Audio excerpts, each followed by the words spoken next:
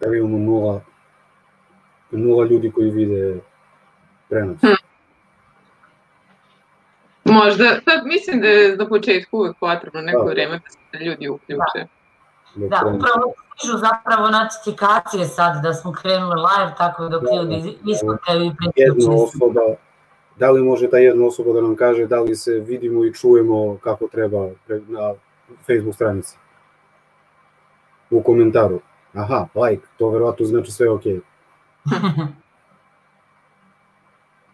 Može neko da napiše samo neki komentar da, pošto nismo sa stranice nismo do sada išli preko ove platforme pa da vidimo da li radi sve kako treba. Nema komentara. I može se... Vidimo se i čujemo. To je to. Hvala puno Marina, Marina i Vladica. Ništa, krenut ćemo onda odmah da se predstavimo prvo. Ja sam Stevan Stanojević, psiholog i terapeut u centru Psihonega. E, moja terapijska orijentacija je KBT, kognitivno-behavioralna terapija, i ja ću praktične savete onoliko koliko mogu uglavnom davati iz tog ugla, a vi možete da pitate sve što vas interesuje. I mi smo odlučili da zapravo danas prvo krenemo sa, sa odgovorima na vaša pitanja, na pitanja koje su stigla pre nego što je video još počeo, preko maila i Vibera i ja ću prvo uh, reč dati našim gošćama, dragim damama i koleginicama, uh, Senki i Jeleni. Izvolite. Dobro večer svima. Uh, evo kao što vidite na skrinu, moje ime je Senka, po zanimanju sam psihologinja i psihoterapeutkinja i živim i radim u Sarajevu, u Bosni i Hercegovini. Moja prvobitna orijentacija psihoterapijska je gestalt, i nekako je to, moram reći, moja prva psihoterapijska ljubav u smislu ovaj, i filozofije neke ovaj, pristupa e, mentalnom zdravlju, ljudskoj duši, životu, istraživanju svega onoga što nam se dešava, pa evo između ostalog jeli, u partnerskim i porodičnim odnosima ovaj, o čemu ćemo večeras najviše pričati. E, sve vrijeme zapravo od kad sam krenula u, u, u psihološke vode, studiranje psihologije, me zanima rad sa djecom i mladima, pa sam se tako dalje orijentisala u, u dječjoj i adolescentnoj psihoterapiji i završila edukaciju za integrativnu dječju i adolescentnu psihoterapeutkinju i trenutno se zapravo bavimo ovaj, kvalitetom psihoterapije na način i pomoći pomagačima, pa zapravo se ovaj, educiram u superviziji nekako mi je drago zapravo da smo večeras nas troje zajedno ovde, ovaj, sa tri različite strane iz različitih pravaca, jer ne sumnjam da, da ćemo tako dati bogatije odgovore, a u stvari ovaj, se i složiti da, da nekako ova naša nauka postaje zaista nauka i da stvari u pravcima zovemo samo neka drugačijim imenom, ali ovaj, sad znamo zapravo kuda idemo stručno. Jel? Tako da evo, za početak ću odgovoriti na jedno od pitanja, odnosno ovaj, poruka koje smo dobili u pripremi ovaj, ovog našeg večerašnjeg webinara. Radi se o gubitku i, i procesu tugovanja, odnosno žalovanja, jel, kako ga različito nazivamo, e, zapravo o, o smrti ovaj, oca, odnosno supruga u porodici, e, gdje sad ovaj, su dvoje djece i supruga, gdje se zapravo još uvijek teško nosi Naravno ne postoje jednostavna rješenja ovaj, i odgovori, pa čak ni formula koliko to ovaj, tugovanje može i treba da traje. Neki okvir je da zapravo ne, ne prolazi ovaj, za manje od godinu dana, ne prolazi nikad ovaj, neka vrsta tugovanja i boli, ali zapravo evo, neki period od godinu dana je očekivano da se članovi porodice ovaj, suoče sa, sa, sa gubitkom, da nekako uspiju da pogledaju to, da, da zaista ovaj, izgovore, osjete sve ono što im se dešava u tom periodu, podijele jedne s drugima, na neki način obilježe, bez obzira da li to religijski ili tradicionalno u skladu sa njihovim nekim vrijednostima, navikama ili kako god. Tako da ovaj, tu su neke faze isto karakteristične, dakle od onih početnih šoka i nevjerice, ljutnje do, do ovaj, daljeg nekog jel, ispoljavanja emocija, stabilizacije, prihvaćanja i nekako integrisanja da, da ta osoba ovaj, više nije tu, bar ne na taj način, jel, ovaj, na koji smo navikli. Ono što je možda važno naglasiti, evo sad iz ove perspektive djece adolescenata, da nažalost u našoj kulturi, a i u mnogim drugim, rekla bih, ovaj, djecu nerijetko iz najboljih namjera da ih zaštitimo, uh, ih uh, isključimo iz procesa žalovanja i iz mnogih rituala. Tako da, ovaj, a to ne bismo trebali raditi, jer zapravo i djeca, bez obzira koga su izgubili, da li su to njihovi roditelji, djedovi, bake ili neki ovaj, članovi porodice, trebaju zapravo da, da tukuju žaluju, a mi nekad ovaj, sklonimo kod, kod neke druge, neki drugi članova porodice, ne, ne uključimo ih u sve rituale, naravno one najmlađe ne, ne možemo sve uključiti, ali zapravo im tada ne mogućimo da, da, ovaj, da budu dijelom tog tugovanja, da ovaj da pristupu ritualima, da se pozdrave, da posjete groblje, da, da se na, na, na sve moguće načine zapravo kako god da to porodica radi i da nekako vide i dobiju dozvolu da je ok da se osjećaju tužni. To je isto ono što radimo. Mi odrasli ih nastavimo zaštititi, ovaj, da, da ne plačemo pred njima, da ne tugujemo pred njima i to jeste teško zapravo da nas vide nemoćnima, ali je to i modeliranje ponašanja, dakle da im damo dozvolu da i oni budu tužni, da ovaj, bez obzira, evo pogotovo je to možda najteže za, za ovaj, roditelja, odnosno onog roditelja koji ostaje sa, sa djecom, koji zapravo mora biti snažan, mora biti pozitivan, voditi računa o, o, o cjelokupnoj porodici, ova, ali zapravo je to, i to neophodno da se ta osjećanja dijele. Posebno su teške zapravo ovaj, prve neke godišnjice, prvi rođendani bez te osobe i neki prvi praznici ili bilo šta što je bilo zapravo ovaj, važno za porodicu zajedno. Jel? Sad razmišljam u kontekstu ovaj, izolacije i, i mjera u, u skladu s pandemijom, da, da su onemogućene zapravo jel, ne, neki rituali koji bi inače bili, pa evo već i za nas neki vjerski praznici, evo sad su prvomajski dana zapravo ovaj, da vjerovatno veliki broj porodica okuplja u nekom širijem krugu i to sigurno da posebno teško pada ovaj, svima onima koji su još uvijek u procesu žalovanja. Evo, ne znam, to je možda nešto najkraće, voljela bi zapravo umeđu vremenu da čujem ako ima još pitanja, a i, ovaj, i vas dvoje, Jelena i Stevane, ukoliko biste nešto dodali. Pa evo, ovaj, ja ću sad iskoristiti priliku da se predstavim. E, zovem se Jelena Zivlak, iz Novog Sada sam, e, ja sam master psiholog i master filolog i edukujem se iz sistemske porodične psihoterapije mada generalno vodim psihoterapiju i neki drugi pravci su mi isto e, poznati, radim u nastavi i pored toga sprovodim psihoterapiju uglavnom sa mladima u Novosadskom humanitarnom centru.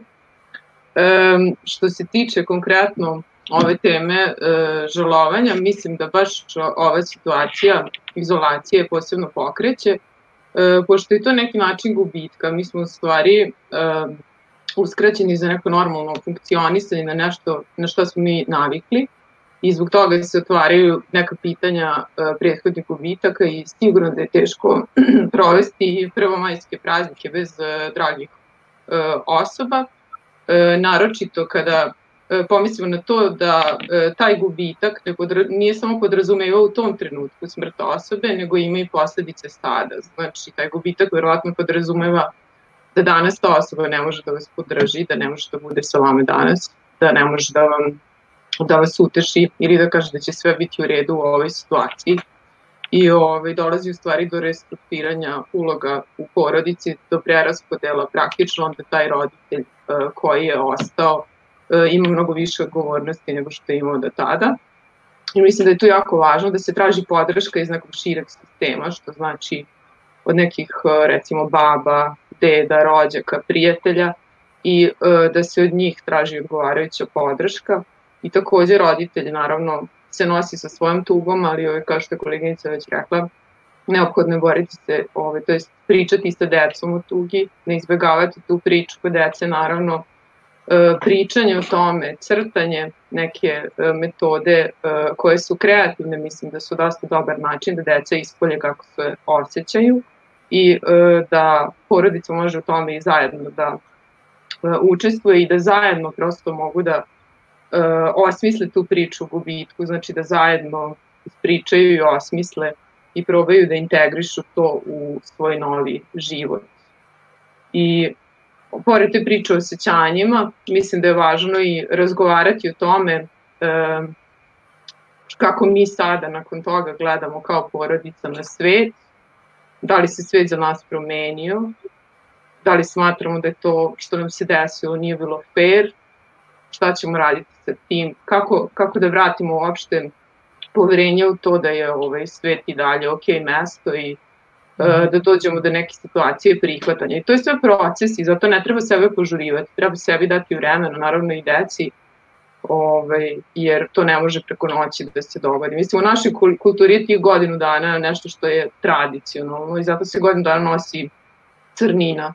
Ali naravno da individualno svakom je njegov uh, gubitak drugačiji odnosu na svakoga drugačije doživljava i svi smo mi različiti i prosto treba sebi dopustiti i drugima da se to doživi, da se kroz to uh, prođe. I da se polako krene, krene ovaj, u nešto novo. I mislim da ne treba nikako presirati sebe, to mora biti godinu dana, čim je isteklo godinu dana, ja sada me nešto pali ili nešto tu nije u redu. Ne, to uopšte ne mora biti znači. Samo bitno gubitak ne postane način života, znači kao one priče što se recimo često, ne znam kako u drugim krajevima, recimo ovde se dešava, da se desi nekoj ovaj, ženi umre muž, pa ranije je to uglavnom bilo tako i onda nosila je crninu do kraja života. E, to je recimo ovaj, tog dugovanja kada postane način života, to je možda nešto što ovaj, nije baš preporučljivo i čemu naravno ne treba da težimo. Da. To je ono što, što psiholozi nazivaju prerada traume, obrada. Znači da postane sastavni deo života, ali u smislu da ne obeleži život na takav negativan e, način. Zato u našoj kulturi, generalno zapadnoj kulturi, ono što ljude sprečava da dođu do tog stadijuma je najčešće krivica. Znači kad neko, to je ja mislim u dnevniku Ane Frank stoji, e, mrtvi ljudi dobiju više cveća nego živi jer je krivica jači, e, jači osjećaj od osjećaja zahvalnosti.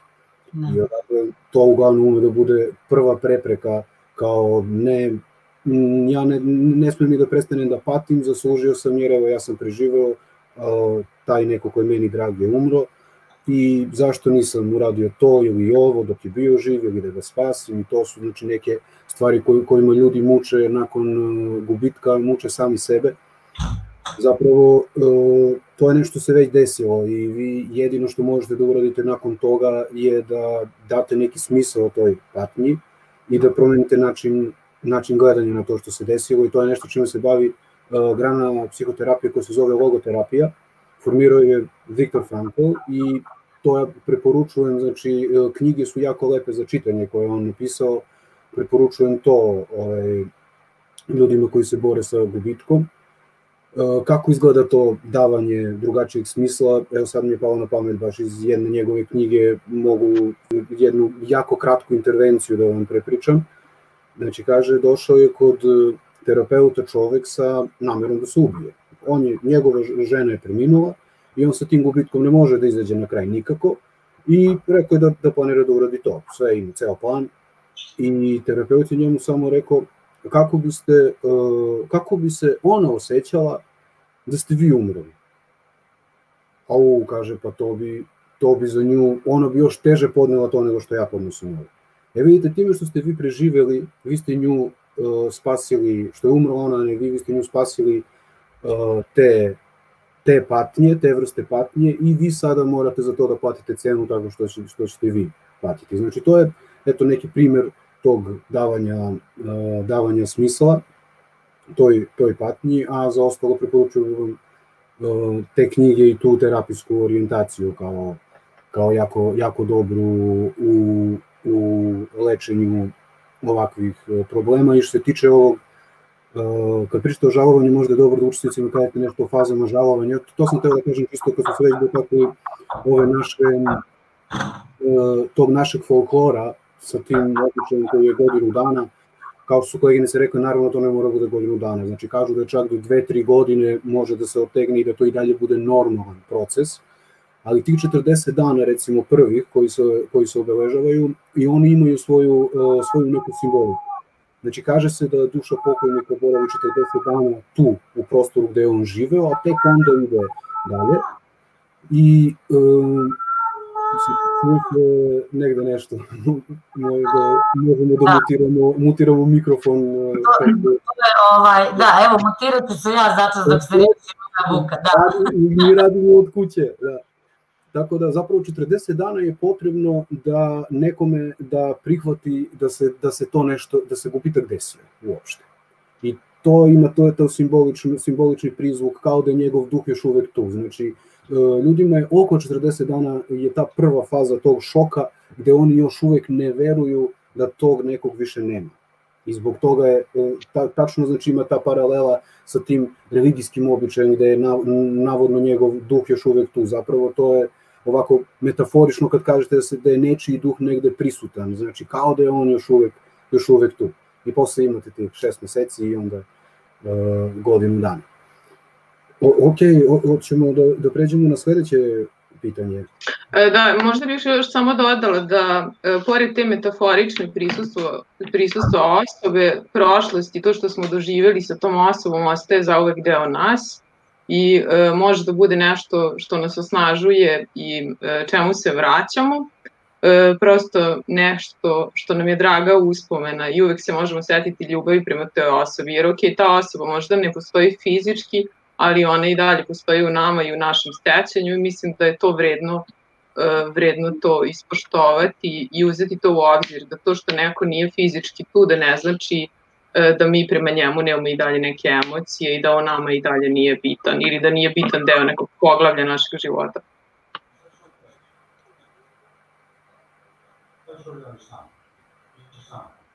Um, hoćemo dalje na sledeće pitanje. Jelena, želiš ti vezano za... Uh mhm. -huh. za... Koje? Škola ili Brodovom? Aha, vezano za brodom, da. Evo, samo da ovaj, vidim tačno kako je postavljeno pitanje. Da. E, znači, pitanje glasi ovako. Kao neko ko je preživeo bračni i emotivni brodolom, volela bih da čujem šta je preduslov sreće u partnerskom i porodičnom životu. Da li je pogrešno voleti i davati se partneru i po, ili porodici bez jasnih granica? E, znači, ovaj, praktično ovo su dva pitanja. Prvo je šta je preduslov sreće u partnerskom i porodičnom životu. Mm, mislim da na ovo pitanje ima dosta različitih uh, odgovora, ali recimo da krenemo od tog nekog partnerskog života, mislim da je preduslov to uh, da partneri imaju uh, zajedničke vrednosti i ciljeve. Znači kada se osniva neka partnerska zajednica, važno je da se zna čemu se teži. Ako osobe za vrednost, recimo jedna osoba ima za vrednost potomstvo, drugoj osobi to nije bitno, Mislim da je tu jako teško e, dugoročno da to partnerstvo dobro funkcioniše. Znači, važno je da partneri e, vrednuju slične stvari u životu i da teže tome, da idu ka sličnim ciljevima i onda mislim da jedno drugo u tome mogu da podrže e, i da postignu zajedno nego što bi e, postigli odvojeno. E sad, e, pored toga mislim da je važno da postoji jasna komunikacija, znači da postoji adekvatan način komunikacije gde se, e, ako nam nešto smeta kod partnera, kritikujemo njegovo ponašanje, ne kritikujemo njegovu ličnost. E, naprimer, kažemo, mm, ne osjećam se lepo kada dođem kući s posla, a ti gledaš televizor i ne ustaneš da me pozdraviš. Volela bih da ustaneš da me pozdraviš. To, je, to bi recimo bila neka kritika ponašanja, A s druge strane, ako biste rekli, ove, ovaj, mislim da si ti nepažljiv, mislim da takva kritika ne vodi nikud. Znači, važno je da uh, komuniciramo jasno i specifično. Pored toga je važno da postoje jasne uloge uh, u porodici i da se zna ko šta radi. Znači, uh, da Pošto mi svi dolazimo iz drugačijih primarnih porodica i možda očekujemo različite stvari od partnera, važno je da na početku e, razjasnimo šta su naše očekivanja od ove partnera, šta očekujemo da će on raditi, a šta bismo mi radili i da definišemo neka pravila porodičnog života, šta je nama prihvatljivo, šta nama kao porodici nije prihvatljivo. I to su neki ovaj, preduslovi uh, sreće za početak, ali naravno može tu svašta se doda, verujem da će kolege još e, dodati nešto. E sad, što se tiče drugog pitanja, da li je pogrešno voleti i davati se partneru ili porodici bez jasnih granica? mislim da je bez jasnih granica bilo koji odnos jako, jako opasan. Opasno je ući, tako se ponašati u odnosu, jer prosto može da dovede u neku simbiozu i do gubljenja sebe. Jedan od razloga zašto nam se uopšte neki partner sviđa jeste što ima svoju individualnost, što je on diferenciran kao druga neka osoba i drugačiji od nas. I e, ovaj način razmišljanja o odnosima je kao ono shvatanje, e, jednog dana ću naći svoju drugu polovinu. Znači, mi nismo nečija polovina, svako od nas je celovita osoba sama po sebi. I s druge strane, ako sve date nekom, šta će ostati vama? E, znači, ok je davati, ali ostaviti prostora i drugoj osobi da daje. Ako vi previše dajete, druga osoba možda nema prostor da vama da nešto. Ipak je potrebno da postoji neka recipročnost u odnosu. I takođe mislim da ljudi to ne znaju ni da ponesu kada im date previše pažnje, e, kada im date možda previše ljubavi. Prosto ne znaju šta sa tim da rade i ovaj, dolazimo u neku situaciju e, totalnog stapanja i spajanja koje kod odraslih osoba nije nešto što je ovaj, konstruktivno. Ja sad ne znam šta bi ovaj, dodali, dodali još neka i... Ja samo mogu da kažem što se tog univerzalnog leka, ovaj, da, da neko od nas zna taj super savet koji treba da nekom da i on će biti srećan u ljubavi, taj bi bio najbolji terapeut na svetu i verovatno najbogatiji. da to, da. To nemamo. Da. Možda neke savete i mišljenja. Da. Da, pa evo meni pada na pamet zapravo, ovaj, slažem se Jelena s tobom, zapravo možda i ovaj drugi dio odgovora je ovaj, odgovori na prvi, dakle moramo, to, to su nam i razvojni zadaci, od najranije dobe beba je ovaj, potpuno ovisna o, o mami, ali je zadatak da kako raste da se odvaja, osamostaljuje, da prohoda, propriča, pa onda sve do adolescencije, do potpunog formiranja identiteta i svega i zapravo to jeste preduslov zrele veze i uspješne da, da ovaj, znamo ko smo, da prepoznajemo svoje potrebe, da ih zadovoljavamo ne potpuno sebično naravno i u, i u svakom trenu, ali zapravo da, da, ovaj, da vrlo jasno znamo ko smo mi, šta nam treba, šta je to što tražimo, da znamo to iskomunicirati ovaj, i, i, i tražiti u tim odnosima, kako si rekla Jelena. Ono što je možda ovaj, još važnije zapravo da se mi i kroz zrelu dob mijenjamo i da ovaj neki neuspjes, evo kako je u tom pitanju stiglo Brodovom zapravo, ne znači da, da nismo sposobni voljeti biti u funkcionalnoj vezi, da neka sedeća neće biti ovaj u redu, tako da ovaj to je, to je važno da imamo na umu zapravo da učimo o sebi u svemu što doživljavamo tokom života pa i u partnerskim odnosima i da ovaj da kažem ne nužno na greškama, ali zapravo da iz iskustva učimo ovaj najprije o sebi, a onda možemo biti u boljem kontaktu sa drugima. I nemoguće je da budemo potpuno stopljeni ovaj sa i sa osobama koje najviše volimo, sa kojim se fantastično slažemo, zapravo samo na trenutke možemo biti jedno, jel? To su ovaj, dijel, dijelići intimnih odnosa zapravo, svakodnevnica je nešto drugo, zapravo smo odvojene osobe koje dijele život, vrijednosti i, ovaj, i sve ono što s tim ide.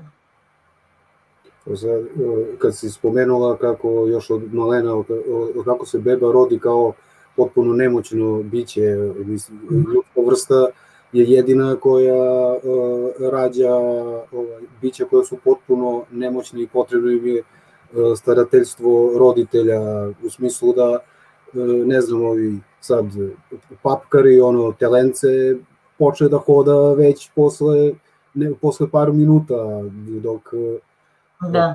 beba takva potpuno nemoćna a svi mi smo nekad bili bebe Tako da mi imamo jedan sasvim prirodan osjećaj neke bespomoćnosti i zapravo ceo po Alfredu Adleru, koji je jedan od najboljih psihologa 20. veka, mi zapravo svi u životu imamo jedan cilj koji se manifestuje različito, a to je da nadomestimo taj neki osjećaj nemoći sa kojim smo rođeni. E sad to može da krene, u zavisnosti od vaspitanja, može da krene naopako. Bitno E, najčešće dva puta kojima mi to možemo da, da prevaziđemo su ili e, nadmoć, težnja za ličnoj moći, ili težnja za zajednicom. Jer ako ste vi takvi rođeni nemoćni, vama naravno treba neko da vam pomogne i tako i kasnije u životu, ako imate razvijen osjećaj za zajednicu, to je jedan zdrav način za prevazilaženje ovaj, tog početnog osjećanja bespomoćnosti. Ne znam da li sam ovo uspeo da, da približim ovako uh, nekim ljudima koji nisu baš upućeni u, u te psihološke pojmove, ali sigurno će im biti jasno kad ispričam jednu jako, jako lepu pričicu koju on ima u jednoj od svojih knjiga. Odnosi se na jedan običaj iz Austrije, u jednom delu Austrije koji postoji, a to je nešto što moraju ljudi da urade pre, pre braka. Da bi brak funkcionisao, veza da bi funkcionisala kako treba, u vezi treba da prevladava za zajednicu. Znači taj osjećaj, ok, zajedno, zajedno smo jači, ja trebam tebi, ti trebaš meni, to je ok, a ne osjećaj za moć gde jedan partner pokušava tu da ostvari moć nad drugim, gleda ne uvažava tuđe potrebe i tako dalje tako dalje. I te manipulacije za uspostavljanje moći nad drugim su jako različite, to uopšte ne mora da bude uh, očigledno, uh, agresivno i slično. Elem, znači da bi stupili u brak, supružnici uh, dobijaju onu uh, testeru koja ima uh, ručke ove držače na, na, na dva kraja. Sigurno ste, ste videli nekad, možda ne uživo, ali na filmu ili u crtanom filmu, i dobiju jedno jako debelo ovaj, drvo, deblo, koje oni moraju da uh, zajedničkim snagama, znači da drže jedan za jednu stranu, drugi za drugu, i onda oni moraju to da preseku. I to im je na, na simbolički način uh, im, im taj posao pokazuje kako treba da funkcioniše veza. Znači, ako jedan od njih više uh, teži za moći nego za zajednicom, on, onda će on to da gura, ovaj će da vuče, ovaj će da pritiska na jednu stranu, pa će ovaj da popusti naglo. I onda će to da, da ide ovaj, jako neorganizovano i šta će se desiti? Oni će potrošiti puno energije, a neće ostvariti svoj cilj. Međutim, ako to ide skladno, u smislu da uh, jedan malo popušta, drugi, drugi gura, jedan vuče, onda će oni upotrebiti manje energije, a ostvarit će svoj cilj. I to je negde jako ovaj, meni bar e, jedan e, lep način, opis toga kako bi veza trebala da funkcioniše. Iako oni ne znaju da iseku to drvo, znači to je to, vi onda, onda im kažu vi niste za brak i, i gotovo.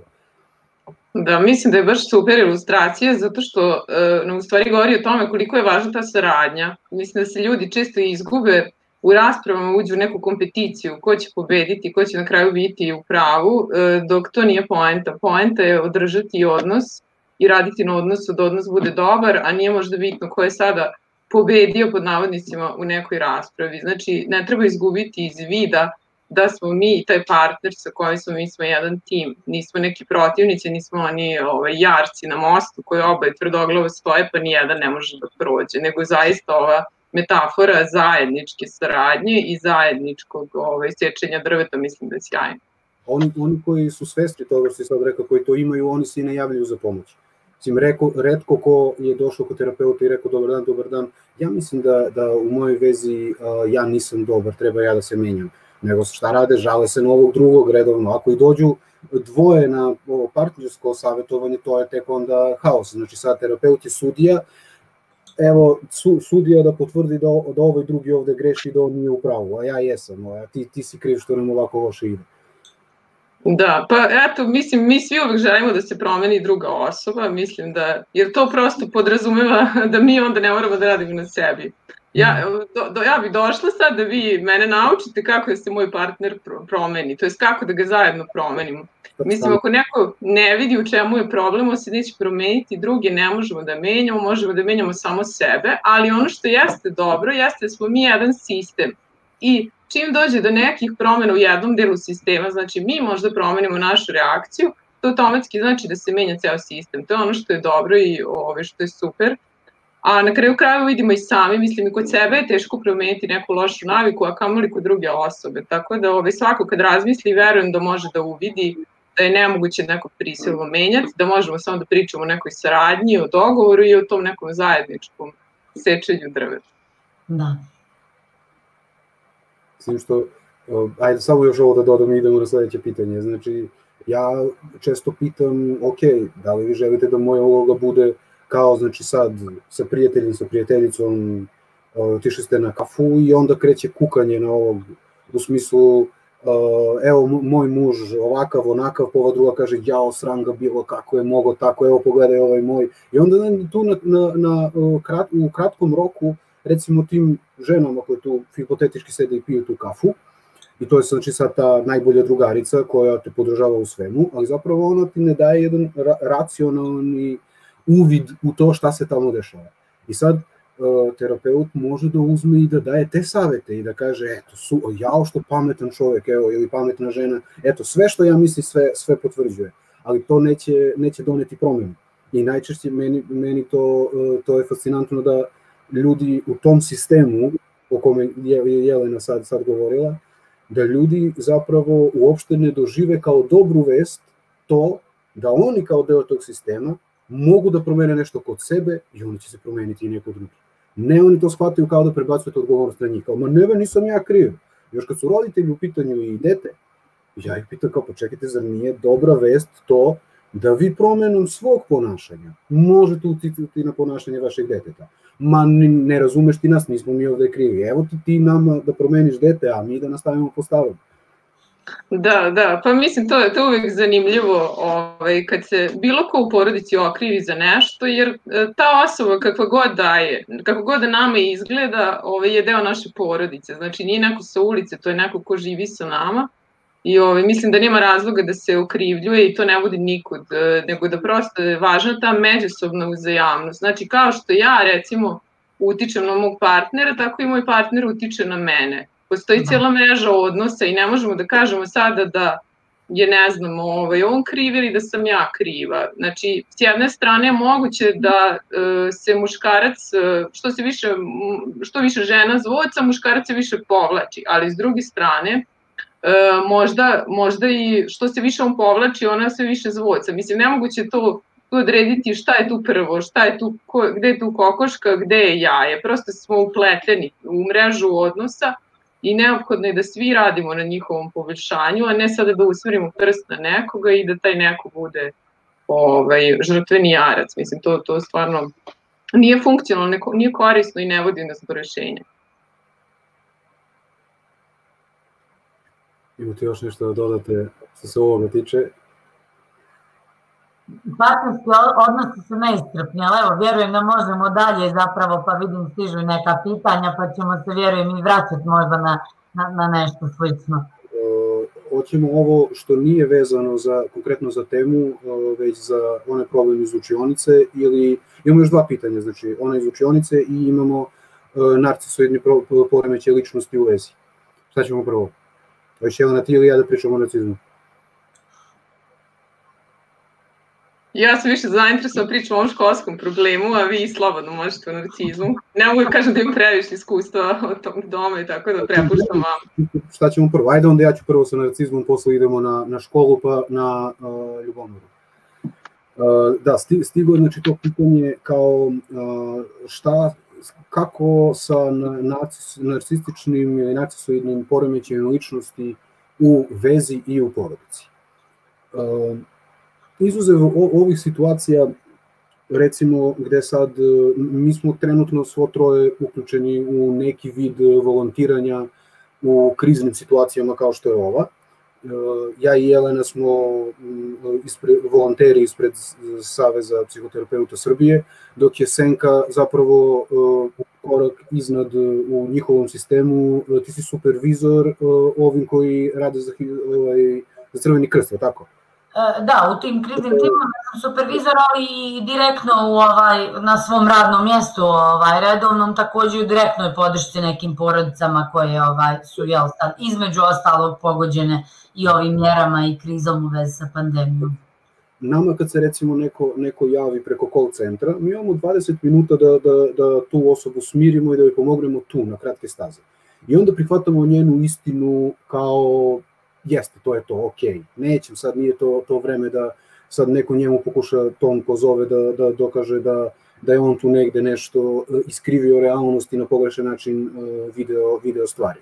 U svim ostalim situacijama mi se prvo trudimo da vidimo ta osoba koja nama to nešto priča, pogotovo mi sa, sa KBT-a, znači da vidimo da li ona na realan način doživjela situaciju ili ima to neko iskrivljenje koje mi zovemo greškama u mišljenju i tako da vas ne dajem što se tiče toga. Tako da, kad god neko prijavi problem u, u tuđe ime, uh, uvek mi se trudimo prvo da vidimo ovaj, da li je to uh, realna situacija ili nije. Tako da ja bi ovu osobu recimo prvo pitao kad bi mogao da li je uh, neko doneo diagnozu narcističnog poremećaja ličnosti, uh, stručno lice, znači psihijatar, terapeut, klinički psiholog, ili je to proizvoljna ovako uh, proizvoljna diagnoza. Zato što svi mi znamo šta je narcizam. Znači, prosto to se zna iz opšte, iz opšte neke kulture, kada aha, neko se trudi da bude mnogo lep, zaljubljen u sebe, mi kažemo on je narcis i tako dalje.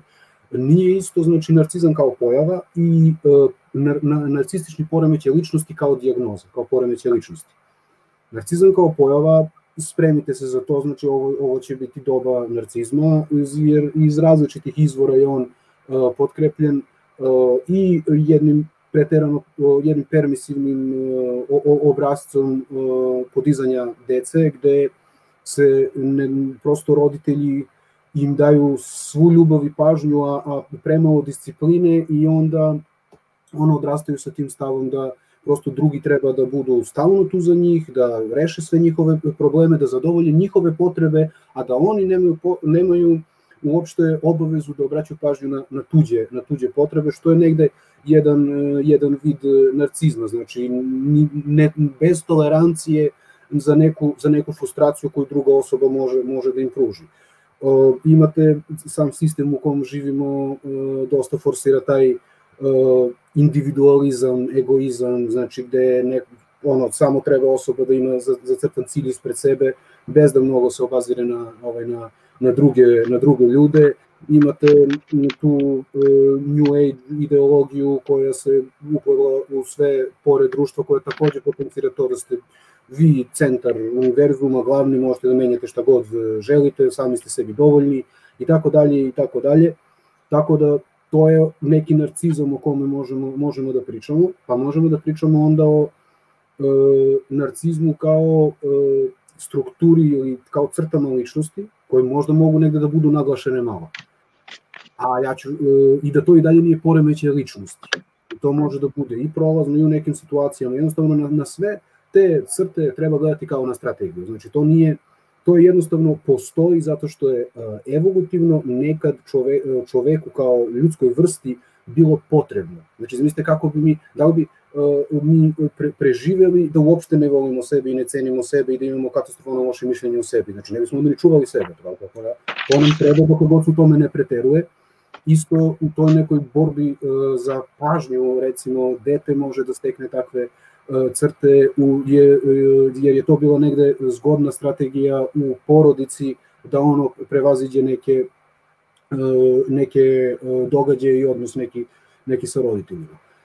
I na kraju dolazimo do toga kad je to zaista poremećaj, poremećaj ličnosti. Kao prvo to je opasan poremećaj, mislim ti ljudi mogu da budu opasni po okolinu. Aj počnemo od toga šta je prvo poremećaj ličnosti. Znači, gde ću skratimo ovo maksimalno.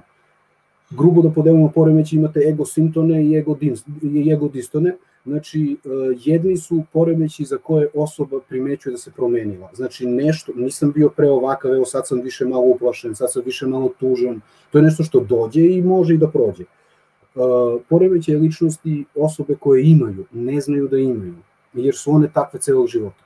One vide da, da nešto između njih i okoline nije okej, okay, ali ili smatraju da je kriva okolina ili da su to neki, neki splet okolnosti, nikad niko nije došao kod psihijatra i rekao dobar dan, imam poremeće ličnosti. Znači oni se javljaju zbog posledica svog poremeća ličnosti. Posledica, posledice su u vidu anksioznosti, depresije, nekog vida nekog vida zavisnosti, znači da li to alkohol, droga, kocka, tako dalje, ili su, su u pitanju to kriminalne radnje, kod konkretno najčešće kod, e, kod e, antisocijalnog poremećaja ličnosti. Znači, ili se javljaju zbog toga, zbog sekundarnih posledica, ili neko im ka, primećuje da nešto s njima nije, nije u redu i onda ih pošalje tamo. Tako da, što vam pravim ovaj uvod? Zato što ću vam ispričati sad jednu, jednu anegdotu, nije anegdota zapravo, jako mi je sveže stvaran događaj o pozivu koji sam primio sinoć. Znači, ne možete vi ne možete da, da, da spasite i lečite nekoga ko to ne želi, pod jedan.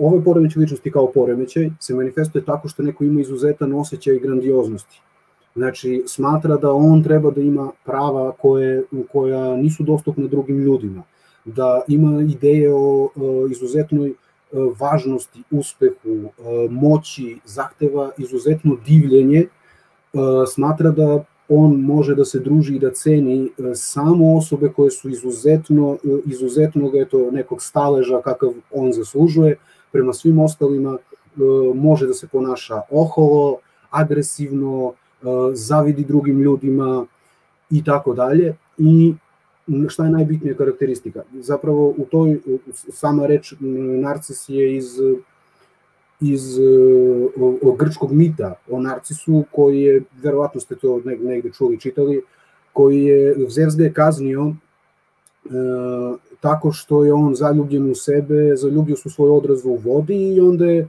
mo, morao da gleda ovaj, eto, samog sebe u, u, u vodi jednostavno ne, ne, ne može da, da ostvari kontakt sa, sa tim odrazom jer to nije drugo ljudsko biće. I to nije toliko bitno koliko da ljudi imaju jednu zabludu da je on kažnjen zato što je bio zaljubljen u sebe.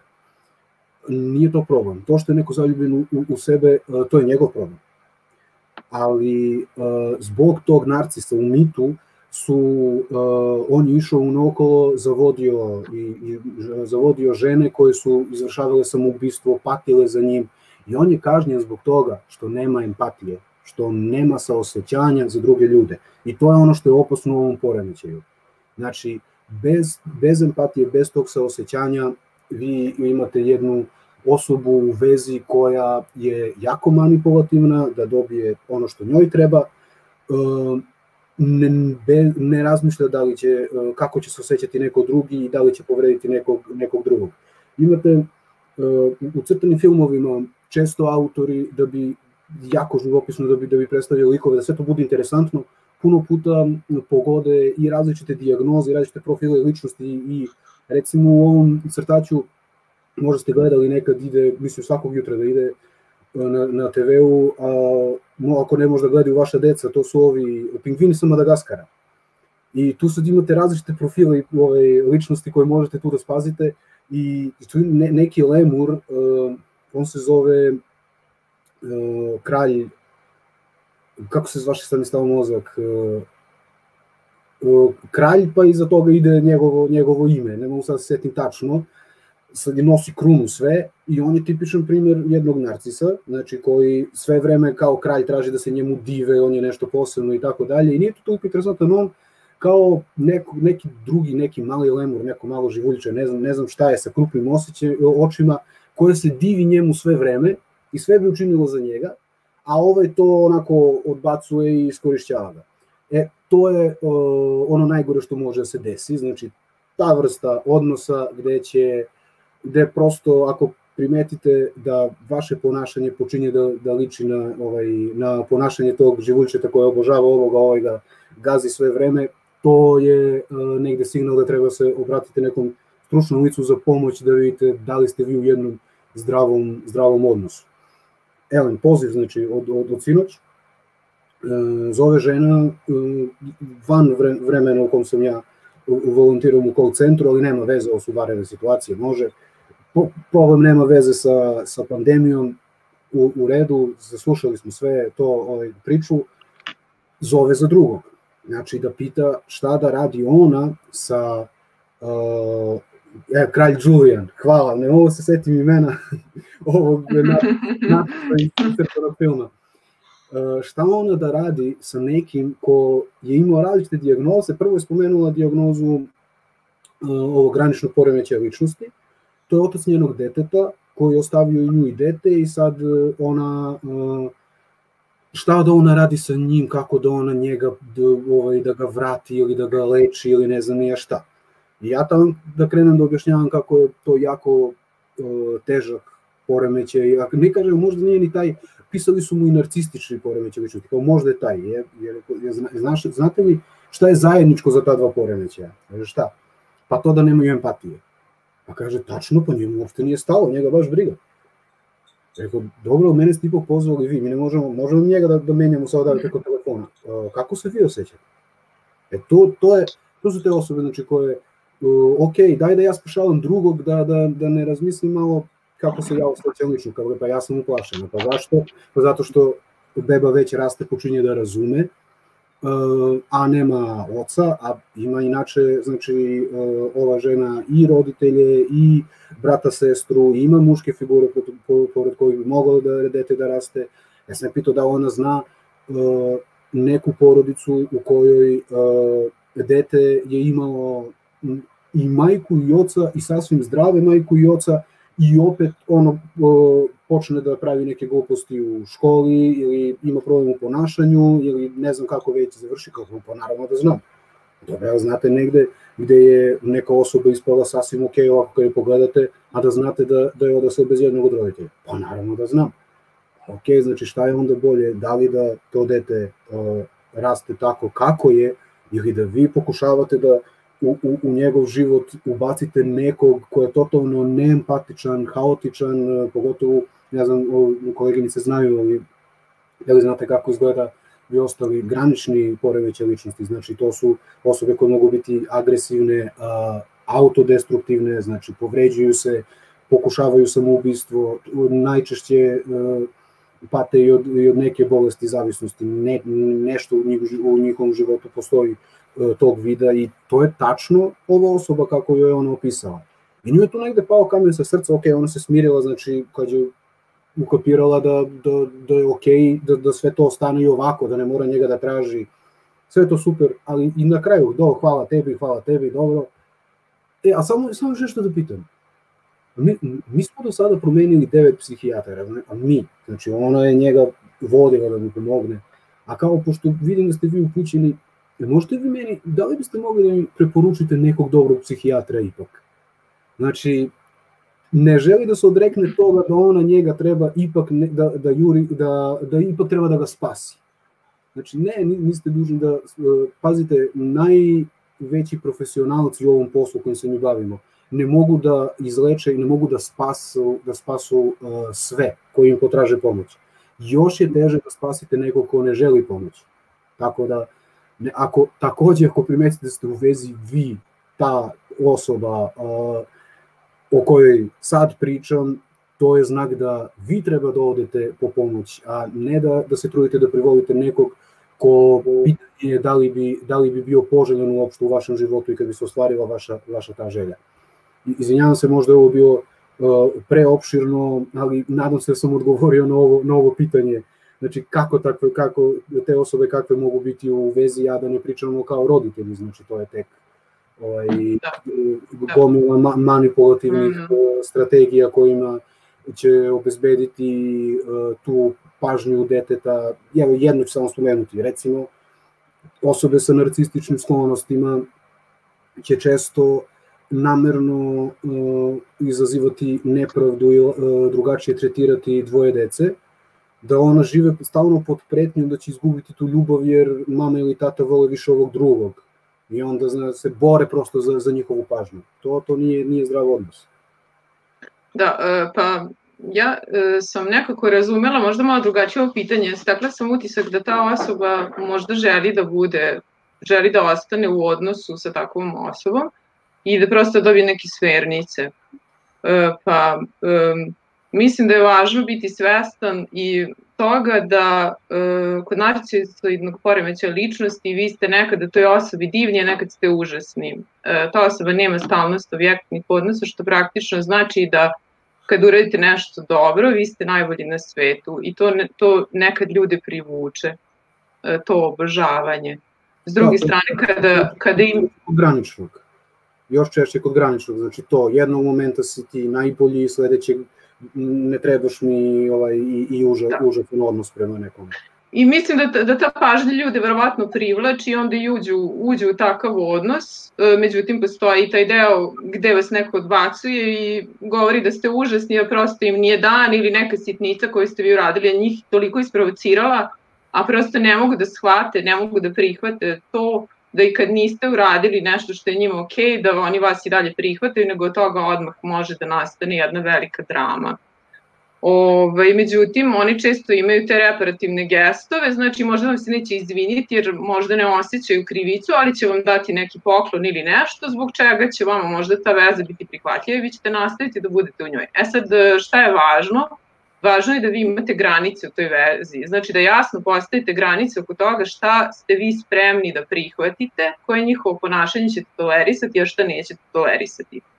E, odnos sa takvom osobom je naporan i praktično jedan maraton. To znači da će neko stalno pokušavati da pređe vaše granice, vi ćete morati non stop da ga vraćate i da kažete da to vama ne odgovara. Znači recimo morat ćete da kažete ne osjećam se prijatno kada recimo vičeš na mene ili ne osjećam se prijatno kada se nalazimo na nekoj večeri a ti odjednom u prisustvu konobara povisiš glas. Znači, vrlo je važno vratiti im to šta je ono što oni ne smeju da rade i, i oni će istrajavati u svom ponašanju, prosto imaju manjak empatije prema drugim ljudima, ali važno da ta druga osoba stalno vraća i da bude uporna u tome šta hoće da prihvati, a šta neće, naročito da ne bi došlo do toga da verbalno nasilje e, pređe u neke druge ozbiljnije oblike nasilja. A što se tiče dece, mislim da je tu uh, u slučaju da je neko imao brak uh, sa osobom koja ima taj poremećaj, mislim da je važno naglasiti ulogu drugog roditelja i da ta druga drugi roditelj uh, radi na tome da uh, pokaže detetu bezuslovno, samo, bezuslovno prihvatanje uh, i da se dete osjeća prihvaćenim bez obzira na greške i bez obzira na to što nije uvek savršeno. Znači da od drugog roditelja E, praktično dobije svu moguću ljubav e, i prihvatanje i e, negde da se oslani na neke druge ljude možda koji su tu deo šireg sistema. Tako da ove, izgradi bliske porodične odnose funkcionalne možda sa nekim drugim ljudima ako ne može baš sa tim roditeljima. Mislim, kod narcisa karakteristično da se dete vidi kao produžetak te osobe, što onda može da ga navede da ispunjava neke svoje ambicije preko tog deteta ili neke planove koje nije uspeo da ostvari uh, i tako dalje. Tako da mislim da tu uloga drugog, drugog roditelja je jako, jako važna i ovaj, da se ograniči ta kontrola uh, narcisoidnog roditelja, odbacivanja i kritika, prosto kroz protiv težu delovanja drugog roditelja.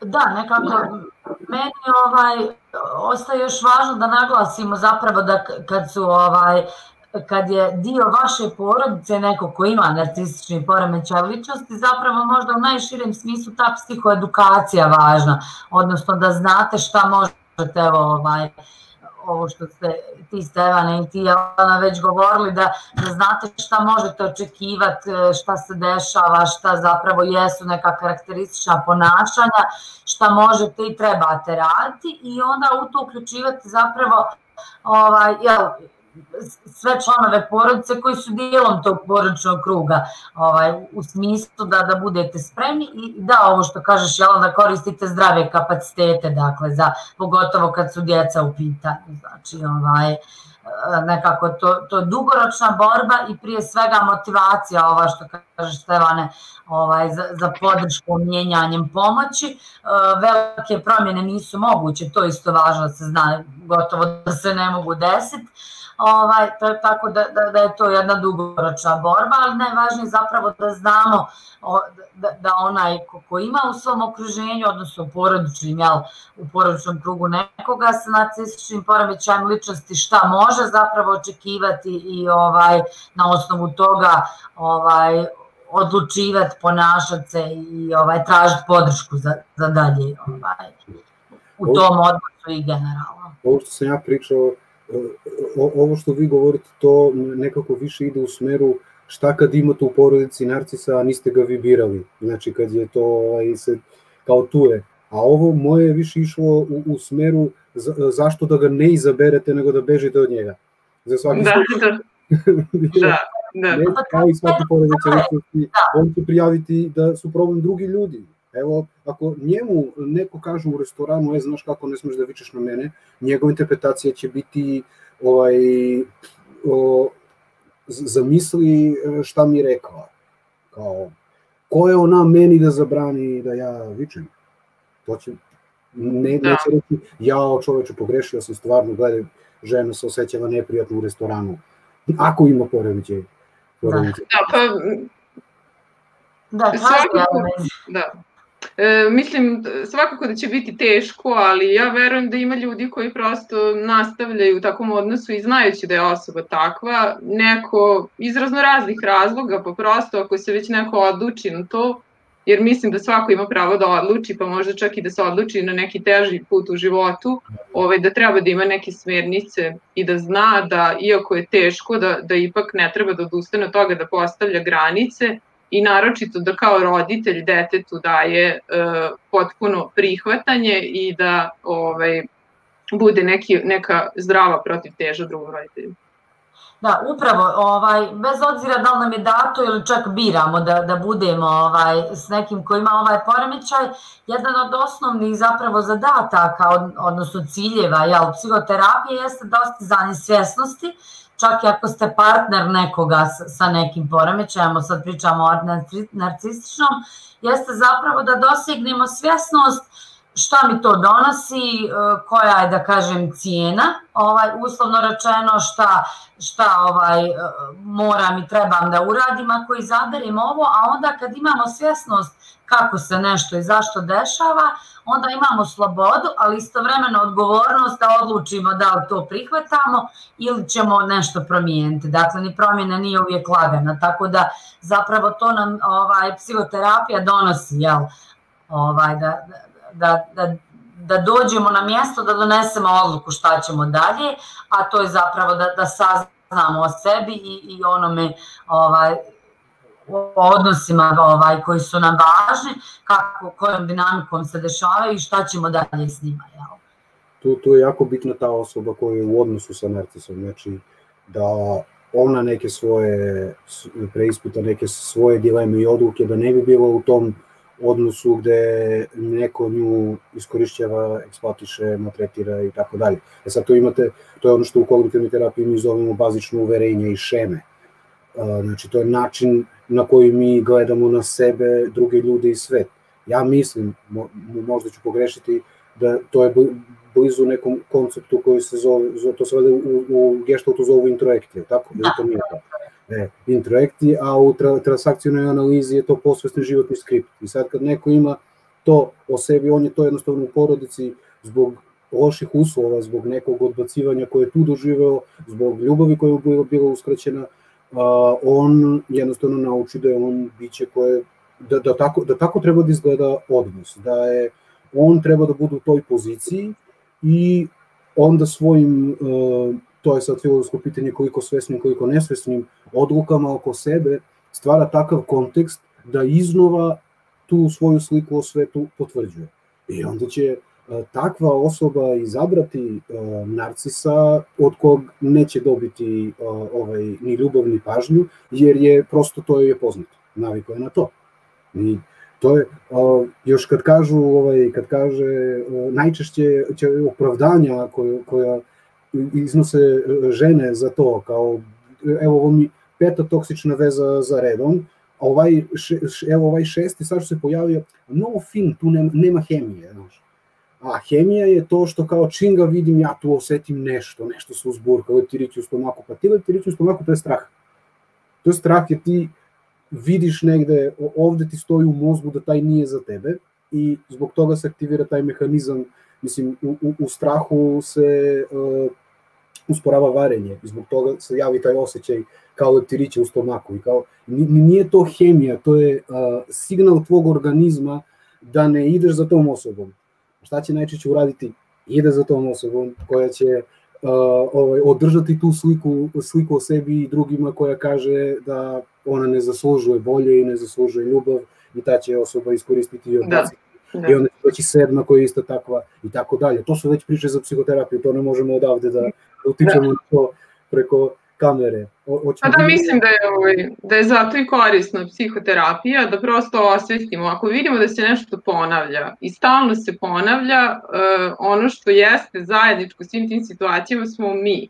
Znači, ako nam se nešto ponavlja, ista stvar sa različitim partnerima, mi smo ti koji smo isti i onda je važno da dođemo psihoterapiju, da malo osvestimo šta se tu dešava i da proširimo spektar našeg delovanja. Znači, da imamo različite opcije da imamo opciju da napravimo svesnu odluku. Neka čovjek svesno bira da pogreši, ja mislim da je to ok, jer to mu možda ispunjava neku potrebu, ko zna koju, ali prosto treba da budemo svesni šta radimo i da u psiho, kroz psihoterapiju proširimo u stvari naš spektar ponašanja, da vidimo, ok, imamo ovu opciju, imamo ovu opciju, pa ja u stvari nemam jednu opciju, imam pet.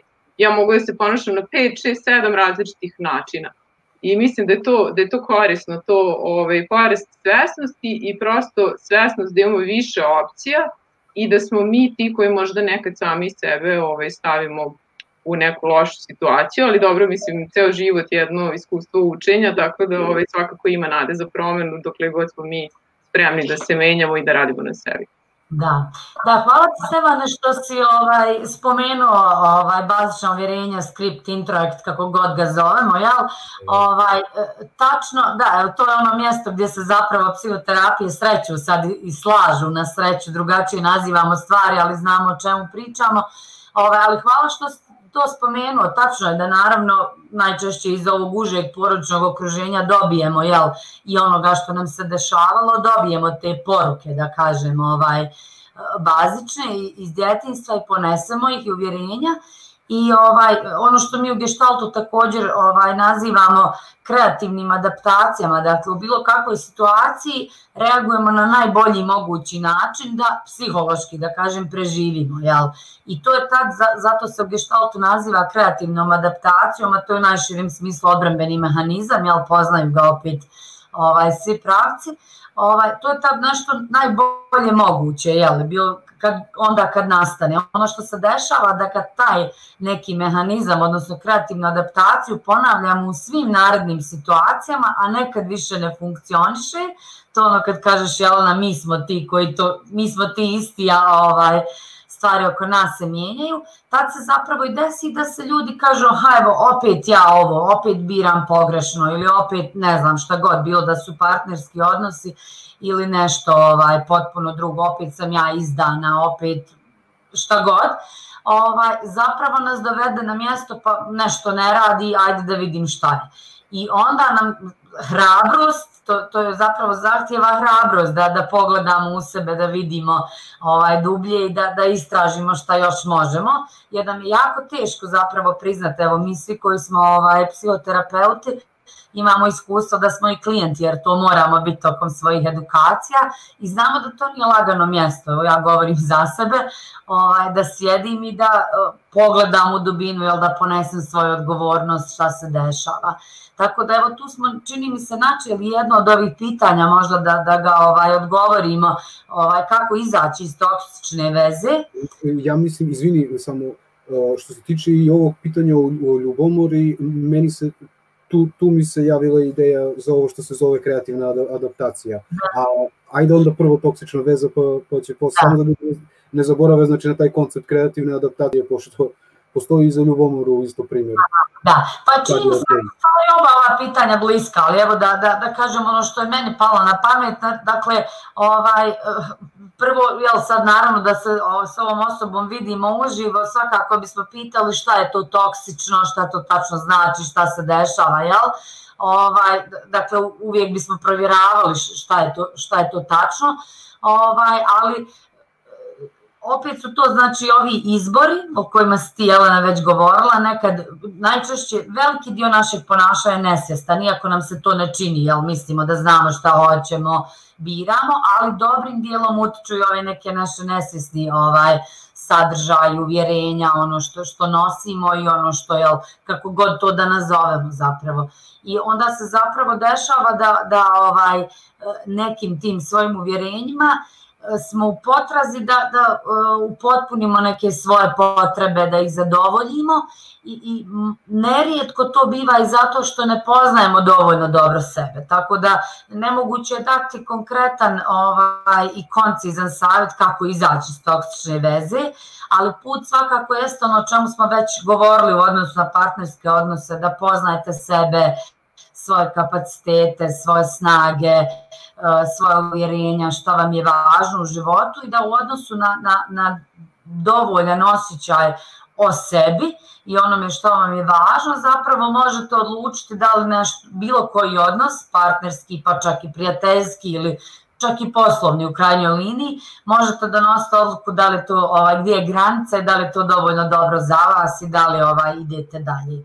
Naravno nije jednostavno jer uključuje i, i očekivanja, uvjerenja, širi porečni kontekst, emocije, neke ideje o odustajanju, o generalno partnerskom odnosu, da li se od njega smije, može odustati, da li je sramota izaći iz partnerskog odnosa, pogotovo ako je to brak. Sad napravim zapravo mnoga pitanja koja evo, u mojoj praksi ljudi otvaraju, ali ovaj, to, to je recimo jedan u najširem smislu put ka van iz toksične veze, svjesno po sebi ovaj, i, i nekako razumijevanje vlasti i potreba i razumijevanje, po meni ono što je toksična veza je nešto što zapravo ovaj, prelazi vaše granice, ne zadovoljava vaše potrebe, nije usklađeno sa, sa vašim istinskim potrebama, dakle ovaj, put za izlazak iz toga je osnaživanje sebe i razumijevanje onoga što vam zaista treba i posvezanje zatim. Jel? Da, baš se slažem se s tim da je jako važno vratiti tu pažnju na sebe, jer ovaj, recimo ako bi se govorili o transakcionalnoj analizi, mi smo onda praktično u vezi sa osobom koja ovaj, kaže ja sam ok, ti nisi ok. Znači mi smo u vezi sa partnerom koji nas ne uvažava i ne ponaša se prema nama na način na koji mi zaslužujemo. Ako sebe vrednujemo, zašto želimo uopšte da budemo u takvoj vezi? Znači nešto verovatno dobijamo iz te veze, međutim onda treba da dođemo, dođe do nekog trenutka kada prosto moramo da vidimo o, time što sam u ovoj vezi i što govorim o ovoj vezi da, čemu govorim ne. Da li možda zbog toga ne mogu da ostvarim neke svoje dublje vrednosti, da li možda zbog toga srozavam sebe, da li možda zbog toga e, na neki način gazim sebe i šta mi to dugoročno do, do, donosi. Znači samim tim što ste u toksičnom odnosu, vi na neki način dozvoljavate drugoj osobi da prelazi vaše granice i dozvoljavate da, nas, da vas tretira na neki način koji nije okej. Okay. E, prosto pitanje je e, dok ćete to da trpite i šta je ta neka granica koju vi ne želite više da, da ovaj, e, trpite, gde ćete reći da je kraj i za šta ćete se drugo možda otvoriti u svom životu. Ali mislim da je deo vezan za samo poštovanje i samo prihvatanje tu isto jako važan i da samim tim što se mi sami osnažimo i dođemo do toga da smo ok sami sa sobom, onda zaista više nemamo potrebu da budemo u vezi s takvom osobom koja nam suštinski ne odgovara i ne ispunjava naše potrebe. Da. Takođe, isto prvo pitanje bi bilo šta je to toksična veza? Na koji način je to za vas toksično, odnosno operacionalizacija e, ponašanja ovog ko se žali i onog na kog se on žali. E sad, tu je problem što vi ispred sebe uvijek imate samo jednu osobu, koju čak i da, da, ovaj, da nam iznese slučaj detaljno, to je opet veza je dvosmerna ovaj, ulica, a vi imate samo polovinu priče. Nekada je to zaista dovoljno za zaključak, ali nekada je jednostavno uh, neko ima tako visok standard što se tiče toga koje potrebe njemu treba da zadovolji ovaj u vezi, da će uvek biti nezadovoljan i svako, uvek nastupati iz pozicije žrtve, svaku svoju vezu smatrati toksičnom u smislu da je toksičan onaj drugi i on je to onaj koji truje ovu, ovu vezu, tako da uvek, znači, ja polazim od toga da li ta osoba koja se žali, šta ona može da promeni kod sebe i da preispita sebe, otprilike to što ste i vi, i vi, i vi pričale, e, da, da vidimo šta ona može da, da uradi da se ti obrazci ne ponavljaju ili da se popravi to tako kako je sad, ili naravno ako je za nju najbolje da se izađe iz, iz, iz, iz toksične veze. Uh, to je, to je znači sad paralela povezana i sa ovim da li je ljubomora bolest ili nije.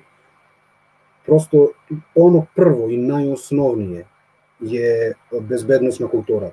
Znači, da li ste vi ugroženi na ovaj ili onaj način. Ako toksična veza podrazumeva da vas neko maltretira, bije, zatvara ili šta znam, ako uh, bolesna ljubomora podrazumeva patološku ljubomoru gde vas neko prati, proverava telefon, mail, ne dozvoljava druženje sa muškim društvom, čak i sa ženskim, onda i ovo, i prva verzija jeste toksična i ova druga jeste patološka ljubomora.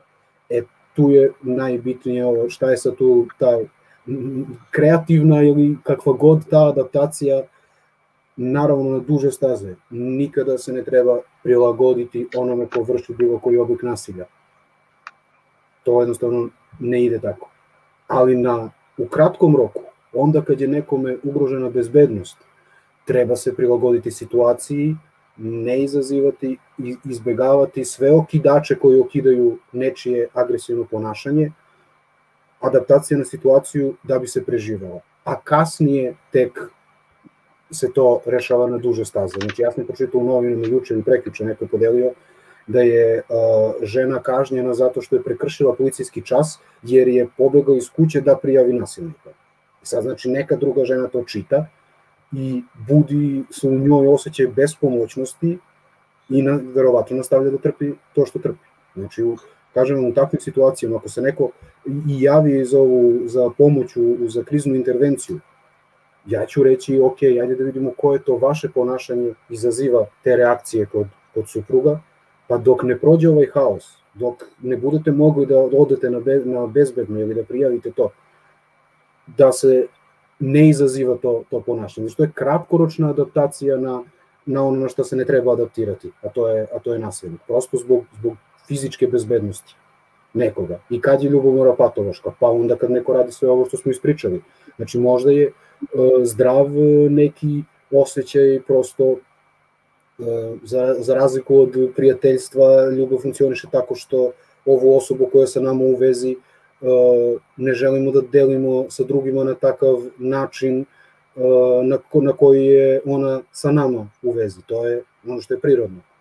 Ono što je patološki, to je da neko prvo donese zaključak, a posle prikuplja dokaze. To je patološka ljubomora.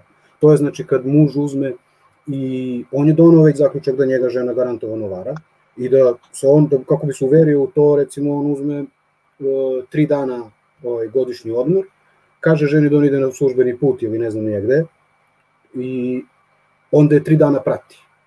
I pošto se tri dana ne desi ništa, on živi sasvim normalnim životom. Da li mislite će ovo reći, jao, pogrešio sam, pogledaj, ona je skroz okej. Okay. Ne, nego kaže kako je znala da se pazi baš ova tri dana dok je Jana gleda.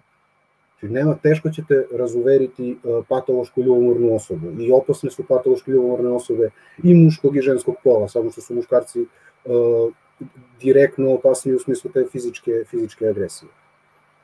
Da, pa mislim da je super što je spomenuta ta razlika, to što je uh, istaknuto da postoji patološka ljubomora, s druge strane imamo i zdravu ljubomoru u smislu da smatramo da predmet naše ljubavi može biti nama oduzet, znači naravno da nam nije sve jedno ako neka osoba flertuje sa našim partnerom i da ćemo ispoljiti određenu dozu ljubomore i mislim da je to skroz ok dok ne prelazi neke granice i ovaj, ne, ne ulazi u ovaj scenariju koji je Stevan e, opisao. Da, da, ljubomora nije, nije rijetka zapravo u, nekoj količini ni, ovaj, ni, opasna. Ono što, što se možemo zapitati jeste ovaj, iz pozicije osobe koja je ljubomorna, šta je to što, ovaj, jel, gdje je granica, naravno to je jako teško, odnosno nemoguće odrediti, ali zapravo zapravo ovaj, to, to je i, pitanje sigurnosti, odnosno nesigurnosti, jel, odnosno ne, ne nužno povjerenja, nego najprije čini mi se sigurnosti u smislu ovaj, kakav je moj osjećaj sigurnosti i povjerenja u nekoga da, da vjerujem da se neće nešto desiti, jel, ovaj, odnosno da neću biti iznevjeren. To često ima veze sa našim ranim iskustvima, kao i naši svi partnerski izbori, generalno manje više kako se ponašamo u odrasloj dobi, ima puno veze s tim kakva su nam rana iskustva povjerenja, nepovjerenja, odnosno attachmenta ili stila vezanosti, jel, da, da li vjerujemo da osoba, objekt naše ljubavi, ovaj, je tu za nas i pripada nama i onda kad nije kraj nas. Dakle, ovaj, ta, taj temelj ljubomor je zapravo u tome. Naravno, pozivam vas sve da, da ovaj nekako ne diagnosticirate kod svojih partnera u svakodnevnom životu, da li su ljubomori zato što im se nešto dešavalo ranije nekako, to, to je posao ovaj, stručnjaka, ali to, to je osnov zapravo koliko se sigurno osjećam i, i šta se dešava s objektom moje ljubavi, ovaj, šta se može potencijalno desiti, kako se brinim za to.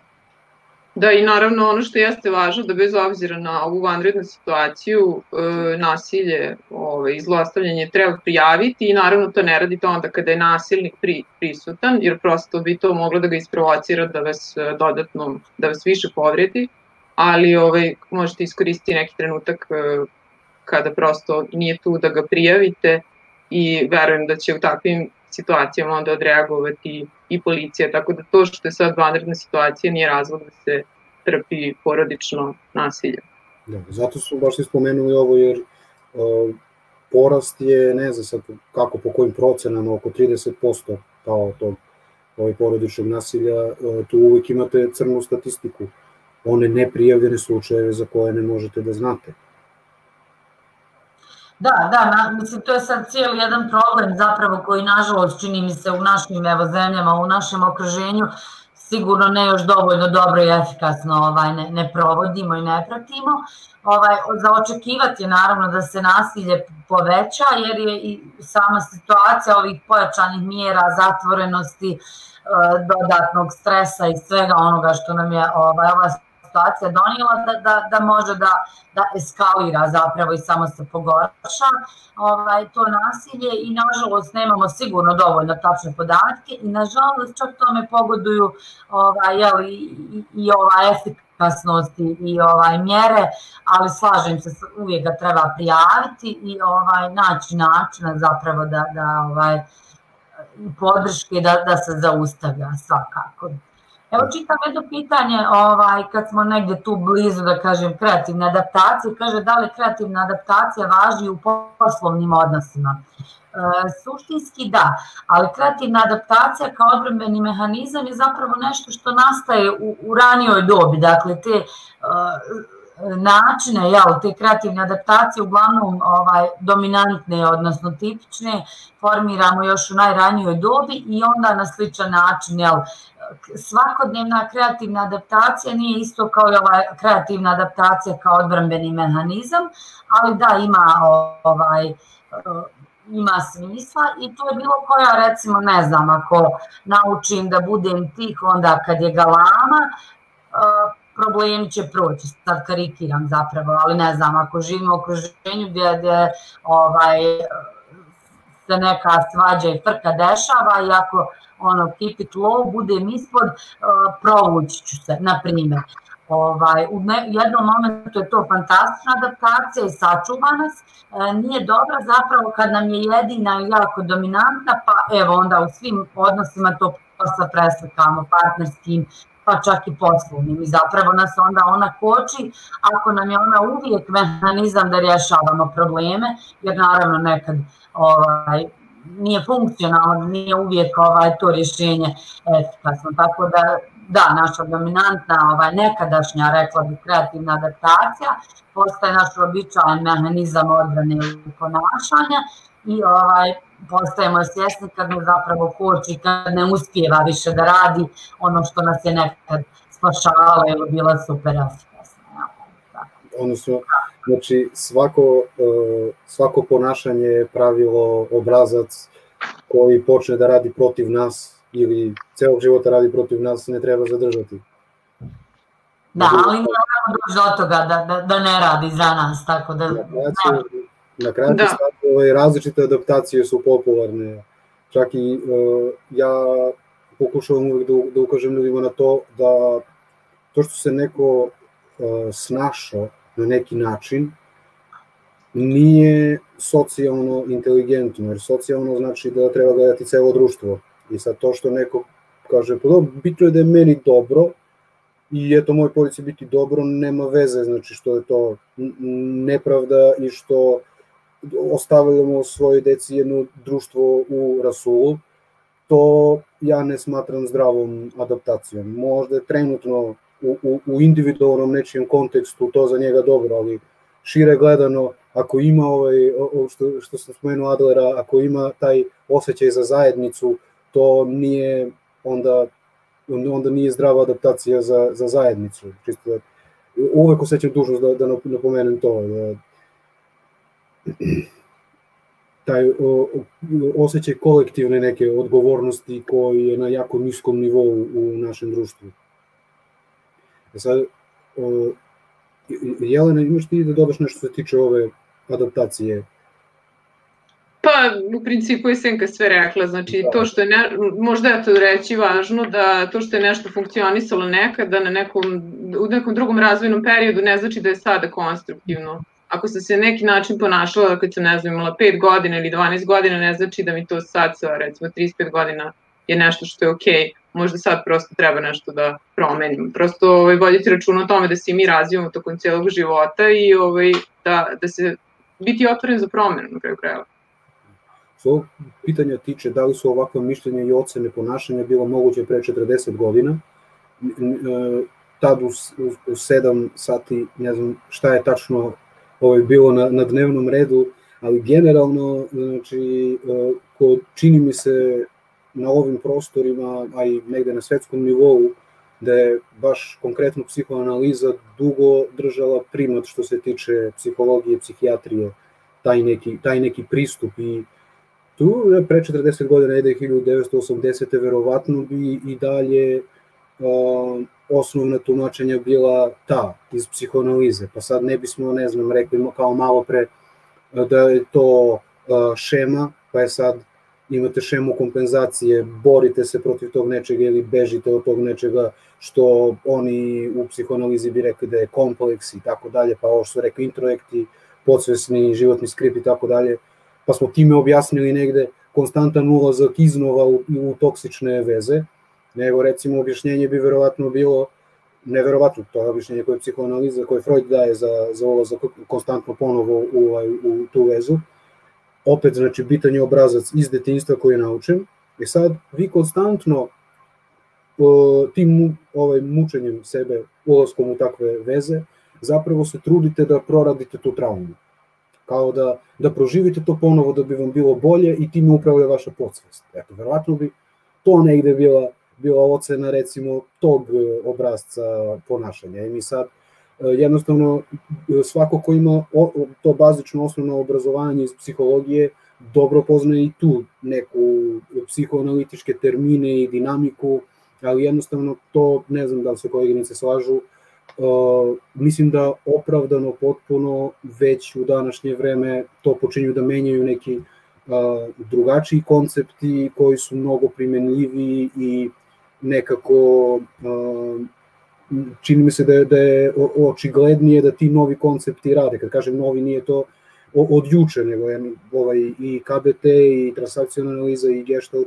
postoje, su postojali i pre 40 godina. Da, ali mislim da psihoanaliza je značajna e, jer u stvari došlo je prvi put do tog lečenja kroz razgovor. Znači razgovor e, počinje da bude e, sredstvo kroz koji se ljudi leče i e, postoji taj akcent na nesvesno što mislim da je isto jako važno i što je nešto što i mi danas možemo da ove, integrišemo u svoj rad, a sad smatram da svaki pravac negde vidi deo istine, pa onda kad se sklopi sve zajedno dolazimo negde blizu pune slike, praktično nekog e, kolaža, ali ovaj, svakako da sve ima neku svoju vrednost i e, funkciju. A zato smo se mi iskupili iz različitih orijentacija ovako sa različitim... Da, da, baš tako to nam danas donosi bogatstvo. Ja nekako često kažem svojim klijentima ako me pitaju nešto ovaj, o, o različitim pravcima, ovaj, da, da je psihoterapija nastala sa psihoanalizom, da su ostale nastajale uglavnom u svađanju sa Freudom i psihoanalizom, a da smo danas na mjestu da se približavamo i to stvarno jeste tako, tako da ovaj, ali i dan danas zapravo ovaj, vidimo što kažeš Jelena različite dijelove i različite perspektive i zato su danas ovaj, različite psihoterapije E, terapije prvog izbora za različitu tematiku, probleme i slično. Tako da nisu sve psihoterapijski pravci jednako uspješni, ne znam, u tretiranju ovisnosti ili porodične dinamike ili ovaj, dakle, ne znači da se ne mogu svi primjenjivati, ali zapravo evo, to su nekako perspektive gledanja su nas dovele na različita mjesta saznanja, tako da je to danas bogatstvo. I ono što je možda još važno reći kad pričamo o različitim psihoterapijama, zapravo da danas već imamo istraživanja i da ono što najviše ljekovito je psihoterapijski odnos. Dakle, mm. to ne može da odredi psihoterapijski pravac, tako da ovaj, evo, to nam je rekla bih bogatstvo, a da ovaj, za svakoga traganje da nađe ovaj, psihoterapeuta ko, koji, s kojim može zapravo da otvori teme, podijeli i pomiri se ovaj, dalje. Evo čitam ova se tiče, ej, to, izvini, što se tiče ovog pitanja vezano za, za decu, možeš da... Da, da, to sam... Ovaj, kako na to okolnosti se odnosi pitanje? Da, ovaj, koje okolnosti negativno utiču na dijete i kako ih se riješiti. Pa dosta je široko, evo probat ću. Uh, ono što je važno da znamo da je nemoguće da, da, da nema ovaj, okolnosti koje negativno utiču. Odnosno ne možemo imati savršen život. Ne znam da se ovog trena odnosi na, na ove okolnosti sa mjerama, ali evo i sa mjerama i bez mjera zapravo. Ne postoje savršeni roditelji, ne postoje ni savršeni ljudi, ali ono što ovaj, već odavno znamo, ovaj, i u literaturi to je pojam dovoljno dobri roditelji. Znači, djeca ne, ne trebaju savršene roditelje i savršene okolnosti, pa tako ni savršenu školu, ni savršenu ishranu, ni odjeću, ni bilo šta zapravo ovaj, života. I, I nekako, ovaj, evo, sjetim se odmah i ono prvo pitanje tugovanje. Život je takav da će donijeti teže i, i ovaj, neke izazove, teška iskustva, e, gubitke, različite opasnosti, ovaj, neke promjene koje nam ne gode i nisu uvijek dobre jel, za djecu, ali ono što se de, važno je šta se dešava kad se dešavaju te okolnosti koje su potencijalno loše ovaj, na, na način da kako djeca vide da ih mi gledamo, kako ih rješavamo, kako se s njima nosimo, jeli, odnosimo. Najsnažniji, opet moja pozadinska buka, sad pošto ja govorim ne mogu da isključim ovaj mikrofon. Ovaj, dakle, ono što, što možemo zapravo, što moramo znati je da, da je najsnažniji oblik učenja učenje po modelu. Dakle, mm. naša djeca uče da se ponašaju onako kako se mi ponašamo, a ne onako kako im govorimo. Pa tako najjednostavnije, ovaj, ako im govorimo da ne znam, da ne piju, da ne piju, da, da ne jedu nezdravu hranu, a mi to radimo, ovaj, prosto jel, radit će ono što, što nas vide da radimo. Tako da ovaj, jedan od najvažnijih stvari, kakve god da su ovaj, ti loši uticaji, ono kako se mi kao odrasli i roditelji u njihovom okruženju s tim nosimo, kako rješavamo probleme, kako pokažemo da, da smo zabrinuti ili ljuti ili da nam se nešto ne sviđa što se dešava ili da nešto ne možemo kontrolisati. To je možda za čovjeka i najviše ugrožavajuće kad nemamo kontrolu. Evo to se sad dešava. Dakle, nemamo kontrolu na puno stvari, na time kad će se moći u školu, kad ćemo izlaziti, uh, šta će biti sa našim poslovima. Na puno stvari zapravo nemamo kontrolu često nemamo u potpunosti naravno, ali i taj privid kontrole i osjećaj da, da mi nešto vodimo, da odlučujemo i predvidljivost, dakle dnevna rutina, životna rutina nam daju taj osjećaj sigurnosti.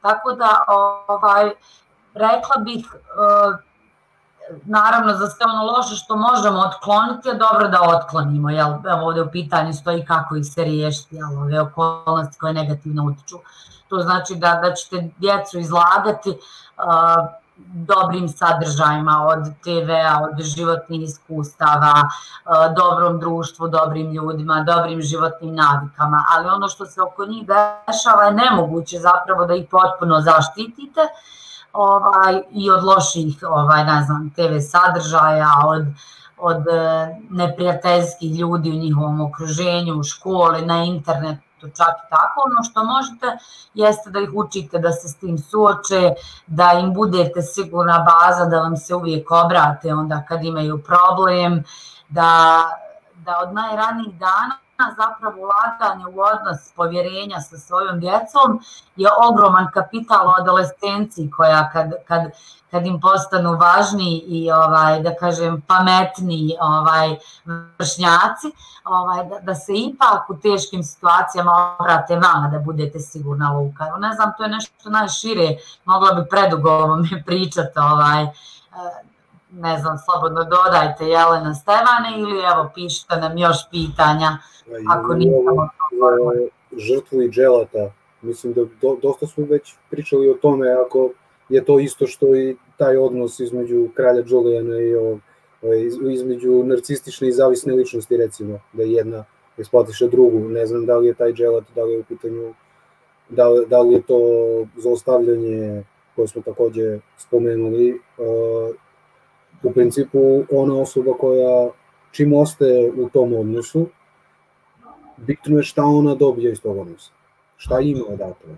Znači, niko ne, ne sedi tu gde je, a ima mogućnosti da izađe iz te situacije ako iz nekog razloga e, na ovom ili onom nivou sad to već posle mi ovaj, raz, razlistavamo kad, kad neko dođe po pomoć, ne da, ako ne dobije nešto, nešto odatle. Ili je to potvrda o tom, potvrda te ideje kako imaju o svetu i odnosu kako treba da izgleda, jer sve van toga je jedan, taj teren na kome su, o, o, on je neprijatan, ali je poznat, a van toga je neizvesno.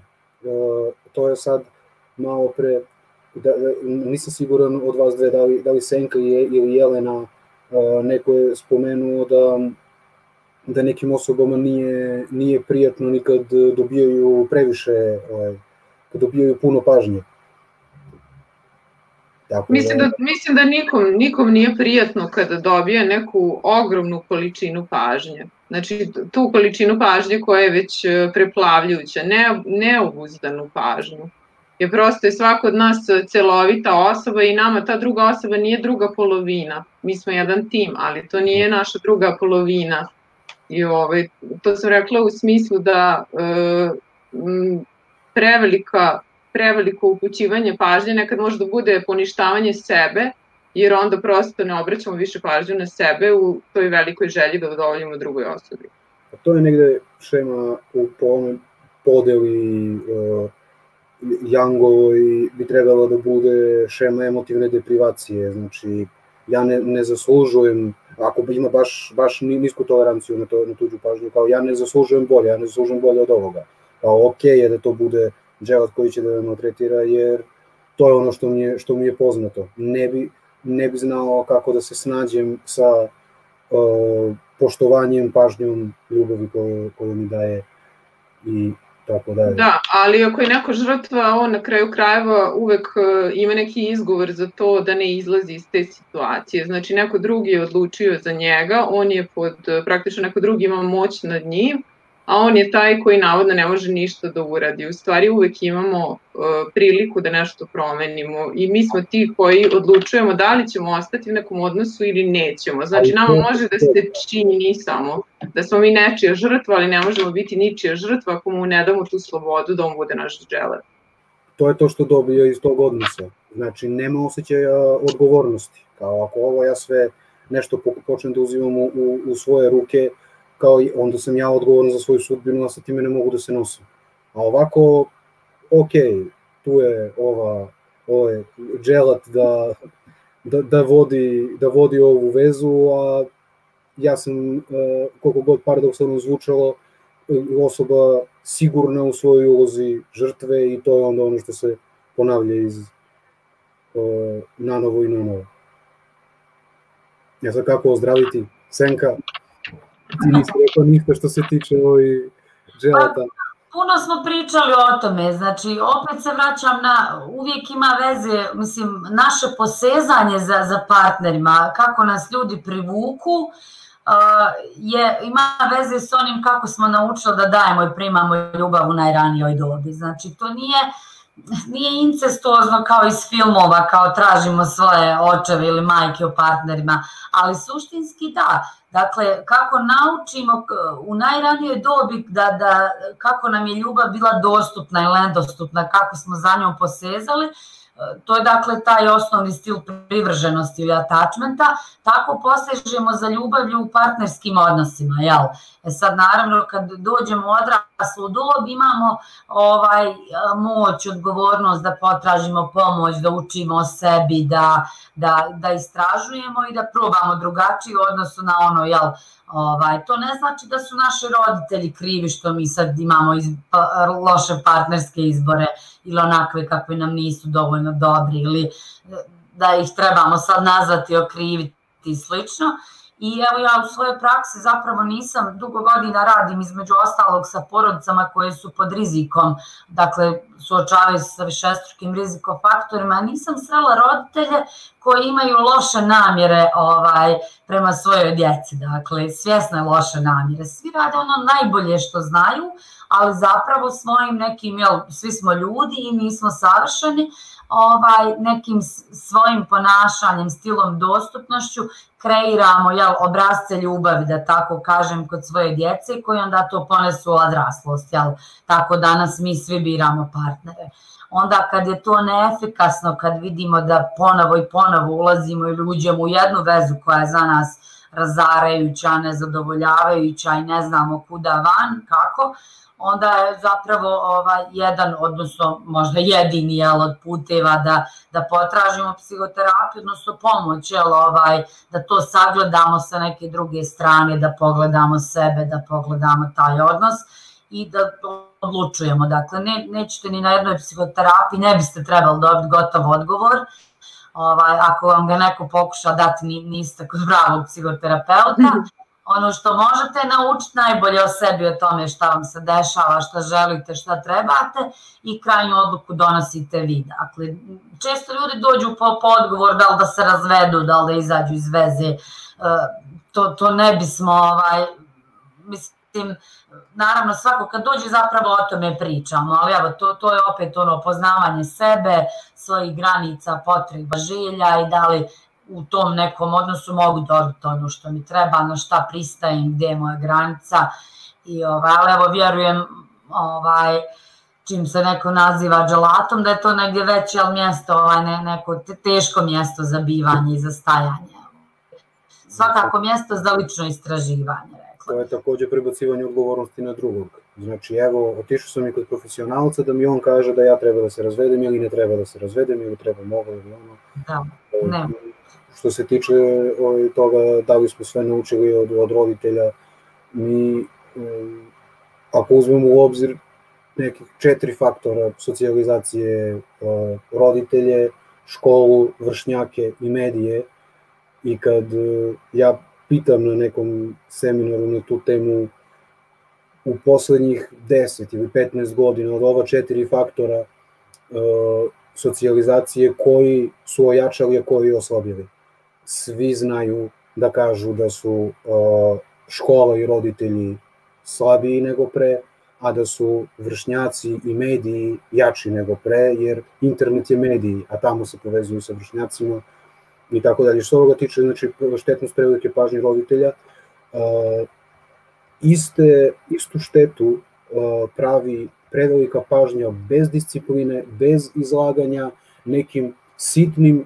uobičajenim životnim poteškoćama, nekim zabranama gde dete to treba da nauči u svojoj porodici jer je to prirodno, istu štetu pravi kao ono što svi već znamo, a to je da decu ne treba e, zlostavljati, tući, zatvarati, ne znam šta im raditi sve, s tim što ovo drugo znamo svi, a ovo prvo roditelji, iako znaju, ne primenjuju i to, će, to je problem 21. veka. Nisu uh, zlostavljana deca, nego prezaštićena prezaštićena deca koja su ti mali kraljevi u porodici i to je i to imate i na i na globalnom nivou, znači pre ne, ne, ne prošle godine ili preprošle glavna zvezda znači na svetu je uh, dete koje se bori protiv klimatskih promena i njegova priča je ta da su zbog njega se majka, to je Greta Thunberg, Znači, njena majka je operska pevačica koja se odrekla svoje karijere da ne bi putovala avionom u druge zemlje zato što avioni zagađuju vazduh. Postali su vegani zbog nje, porodica, i iz škole je odsustvovala da bi protestovala. I vi sad znači imate jednu globalnu figuru koja vam pokazuje da dete, ako želi, može i protiv porodice i da ono određuje pravila u porodici, da može i protiv škole i da ono određuje pravila da li će ono biti tamo ili neće. I to je jednostavno, jednostavno druga krajnost. Znači, niko, ni, između te dve krajnosti, znači između tog, tog treba postojati balans između E, pažnje i ljubavi i discipline i učenja deteta da su e, svakodnevne životne frustracije nešto što njih čeka u životu. Ako ga vi samo zaštitite, niste ga pripremili za život. I stvorit ćete, ako već sam spomenuo ove teme, vi ćete mu stvoriti uh, tu šemu jedne neadekvatnosti uh, sličnu kao što će imati ovo, ovo dete koje je uh, nije dobilo ljubav od roditelja i izostavljeno, jer ovo prvo će reći, aha, pa ja pošto ovo ne dobijam, nešto sam manje vredan, nešto sa mnom nije u redu, a ovo drugo ima u glavi predstavu da čim sve rade umesto mene, ja to ne umem, ne znam kako sa tim izaći na kraj. Tako da to je ono, ono na šta se odnosi ovaj, da. uh, gospodina Vladice Stojanovića koji redovno posećuje naše, naše edukacije.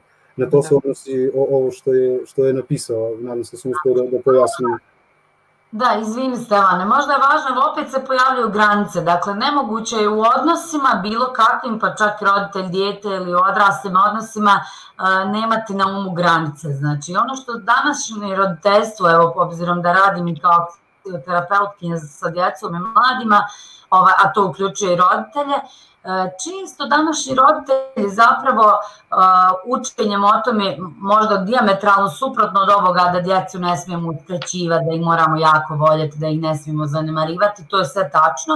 Ono što se desi da odu u drugu krajnost i da zapravo čini mi se čak i ono što nam je donijelo savremeno znanje jeli, ovaj, uređenje, a to je zaštita djece i dječja prava, pravo na mišljenje svakog djeteta, ovaj, zanemare da im moraju dati granice. Znači, roditeljska odgovornost je da postave granice postaviti granice djetetu ne znači da ga ne volite. Dakle, ono što rodite, neki recept najširi roditeljstva je ovaj, puno topline i ljubavi uz jasne granice. Znači, onda kad postavljate, granice su ljubav.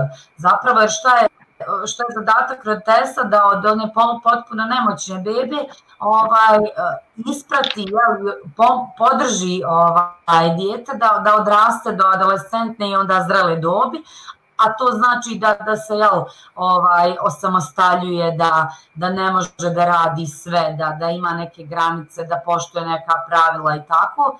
I zapravo jel, te prelabave ili prerigidne granice, granice koje ne postoje ili granice koje su narušavajuće, ovaj, su posle granice koje odrasli ljudi nose ili su prelabave pa onda puštaju neke ljude ovim partnerskim odnosima preduboko i nekako previše ili su ovaj prerigidne ili prenapadne pa ulaze drugima u granicu. Dakle, zato roditeljstvo jeste vjerovatno jedan od najtežih zadataka, za njega se ne, ne obrazujemo osim što gledamo naše vlasti roditelje kako se to radi. Ne postoji da. škola za roditelje. Ja da, moguće, izvinjavam se, znači samo pošto je Senka skromna, ja ću vam reći da je ona inače trener u domenu prava deteta Ujedinjenih nacija. Tako da ako vam ona kaže da prava treba tako da izgledaju, to je to. Ja bih tu samo jednu reč u svim tim zakonima bi samo jednu reč promenio. Znači, uh mhm. -huh. nisu prava deteta, nego potrebe deteta.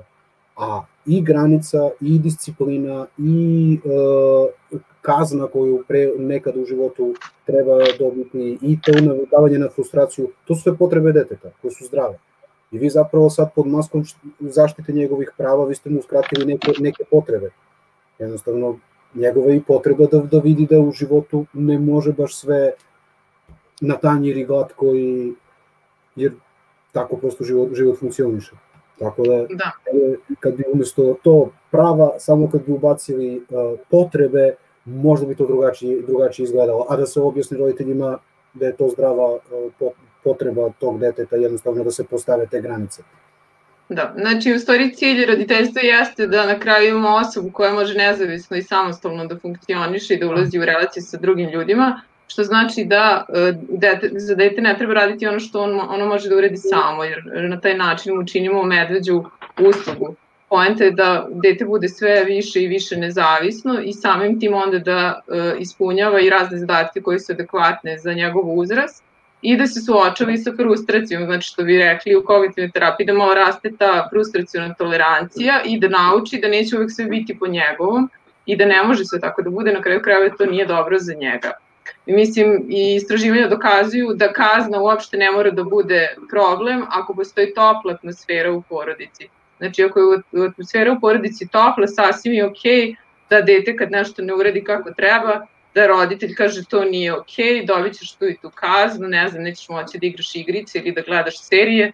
Prosto, uh, dete ima i potrebu da mu neko postavi granice, jer to je dete, ono samo još uvek ne zna šta je adekvatno, šta nije adekvatno, i zato je važno da u porodici postoji jasna struktura. Jasna struktura znači da je roditeljski e, subsistem taj sistem koji ima najveću moć. Znači, roditeljski subsistem određuje pravila i postavlja granice, a ne deči. Roditelji su ti E, koji su autoritet u porodici i koji određuju stvari, oni imaju najveću moć. E, kada tu dođe do problema i kada stvari nisu tako postavljene, onda se ove, ovaj, događaju i razne negativne pojave.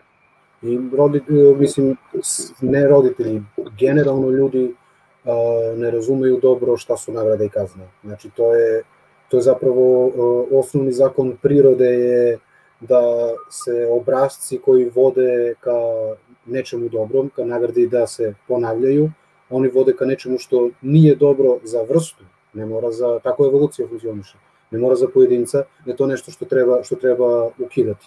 I onda mhm. možemo ceo jedan seminar da napravimo o tome, adekvatnom nagrađivanju i kažnjavanju, jer to je, još imate sad, dodato ste, ste roditeljima dali opravdanje i gorivo time što je bilo u svim novinama i televizijama i diskusije oko toga da li treba zabraniti fizičko kažnjavanje dece. Mi smo imali pre toga jako dobar zakon protiv zostavljanja de, dece i mislim svako normalan zna da je to nešto što ne treba raditi. Ali sad znači, a pa ne mogu, jer kaznu to zabranjeno.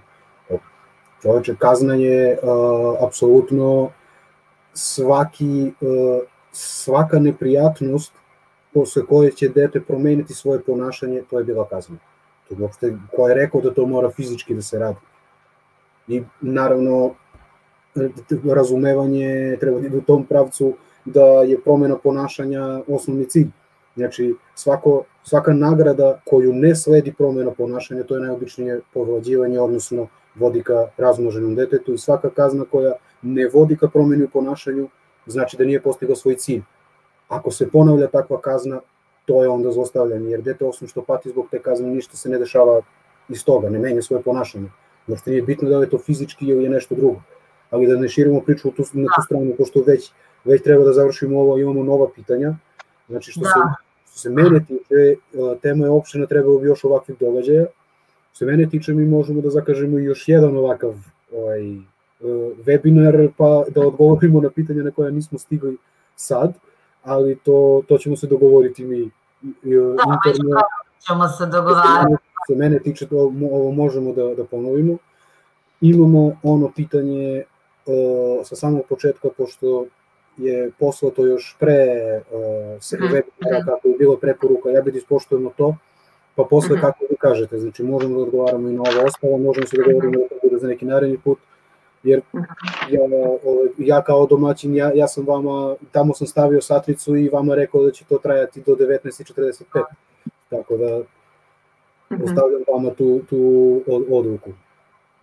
Moram da kažem da kad sam ovaj, pomisla sat 45 minuta, mislila sam ja to nije kratko, da li će neko da nas sluša skoro dva sata, u stvari evo sad nam nedostaje vremena i brzo mi je prošlo.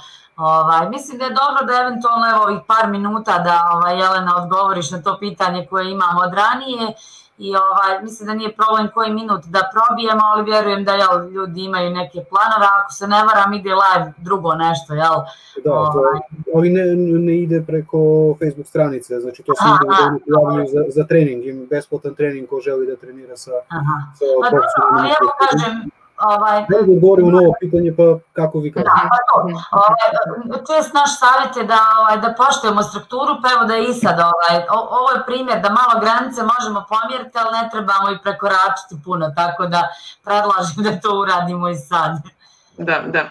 E, pa ja imam jedno pitanje vezano za e, školu i školski kontekst e, i pitanje je sledeće. Učenik koji je u invalidskim kolicima, srednja škola, ometa, ometa čas, profesorka se trudi oko njega, na kraju mu daje veću ocenu nego što zaslužuje. Trenutno ometa Viber grupu učenika konstantnim pitanjima. Ono što profesoricu interesuje kako da se ponaša prema njemu, jer je školski psiholog objasnio da su mu u osnovnoj školi povlađivali profesori, povlađuju mu roditelji i tetka, sada on to očekuje i od profesorice – roditelji odbijaju da radi po IOP-u, mora da se primenjuje individualizacija, e, privladala je do sada empatija, ali on to nije shvatio na pravi način. I profesorica se ljuti na sebe što toliko pažnje posvećuje đacima koji malo rade, među njima i njemu, a ima malo vremena za one koji radi, rade bolje i sa više pažnje i žao je tog učenika, ali je krivo što ne reaguje na, on ne reaguje na njen trud, da na bilo koji način angažuje sebe, kako da prevaziđem ta raspolućena osjećanja i razmišljanja, kako da postupim u sledećoj godini. Ovo je jako sad povezano s ovim pitanjem koje smo sada već razmatrali, a to je pitanje e, toga da roditelji treba da e, postave neke čvrste granice. Ovde niko nije postavio granice, znači ni roditelji, ni tetka, ni profesori u osnovnoj školi, praktično su svi uh, povlađivali ovom džaku i on je sada u principu navikao na to da njemu svi povlađuju. I sada je neophodno asertivno postaviti čvrste granice, što je dosta teško, e, zato što ispada da ova profesorica jedina u sistemu koja je preuzela tu ulogu. Čini se da niko tu u tome ne učestvuje. Idealno bi bilo da zajedno sarađuju porodica, i škola pa da imaju isti pristup i onda bi se postigao mnogo veći efekat.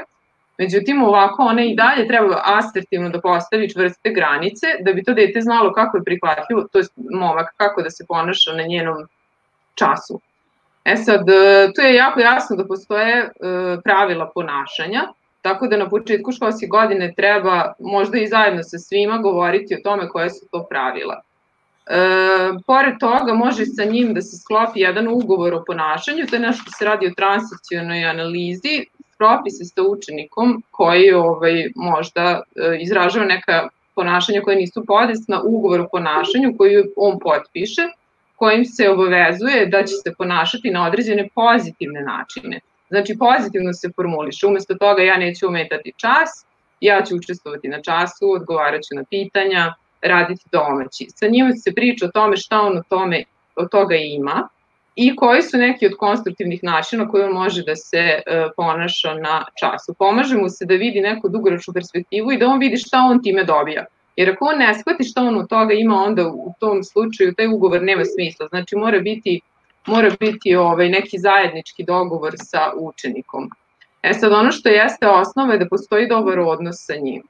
E, dobar odnos e, onda čini težim e, situaciju učeniku da bude nepristojan. Ako on zna da to profesorica fair prema njemu i da ume da pohvali neka njegova pozitivna ponašanja, onda mu je teže da se ponaša na način koji nije adekvatan. S druge strane, treba razmišljati o njegovim potrebama. Ono što nama izgleda kao njegovo remećenje časa ili njegovo remećenje Viber grupe jeste možda baš ta želja za pažnjom. Jer meni je zanimljivo kako ovde piše kako ona posvećuje mnogo više pažnje učenicima koji malo rade. Znači možda je tu u suštini njegova potreba za pažnjom, koja možda može ovaj, da se izrazi na neke druge načine, to je da dobije na druge načine, a ne e, kroz to loše ponašanje na času. I ono što je naravno važno da postoji sankcija za svako loše ponašanje, s tim da se onda kaže ja znam da ti umeš lepo da se ponašaš, ali sam sada razočarana zbog toga što si ovog puta uradio to i to.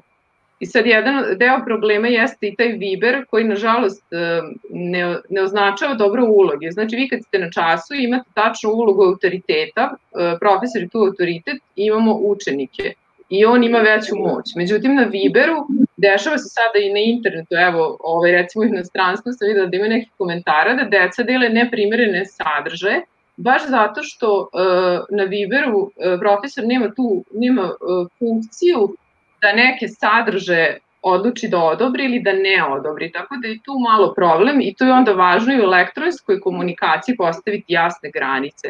Ali znači suštinski dve preporuke bi bilo e, fokus e, na to da se jasno naznači šta sme šta ne sme i onda vraćanje stalno na to i ponavljanje, a druga stvar da se formira dobar odnos i da se ispuni ta njegova potreba za pažnjom. Idealno bi bilo kad bi se sa tim složile i usaglasile i porodica njegove i kolege, ali ako to nije moguće, onda fokus na to što vi možete da uradite i na kraju krajeva vi tražite podršku e, kolega e, i e, imajte u vidu da prosto vi radite ono najviše što možete. Ne možete da uradite sve, nije sve na vama, imate neke faktore koji su jači od vas, jer mislim roditelji provode više vremena sa detetom e, u odnosu na to koliko vi provodite, e, tako da nije sve na vama.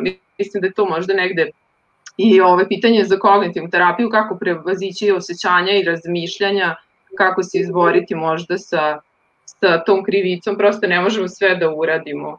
Verujem da se i druge kolege tako osjećaju i da je nama dosta teško generalno u sistemu, jer možda nema toliko podrške koliko bismo želeli, želeli da imamo i ove, nemamo možda neke resurse koje inostranstvu ima, imaju i onda je jako teško ovaj, prosto obskrbiti sve učenike i svakom posvetiti onoliko pažnje koliko bismo želeli, ali bitno je da mi znamo da smo uradili sve što smo mogli. E, došlo do nekog prekida, vidim video kod, kod Senke je zaleđen. Ok, meni ovde, ja bi se skoncentrisuo na, na to kako se osjeća osoba koja traži pomoć. Jer to je, to je ovo što sam na kraju rekao. Znači, taj osjećaj dužnosti da on uradi nešto više je ovde iracionalan.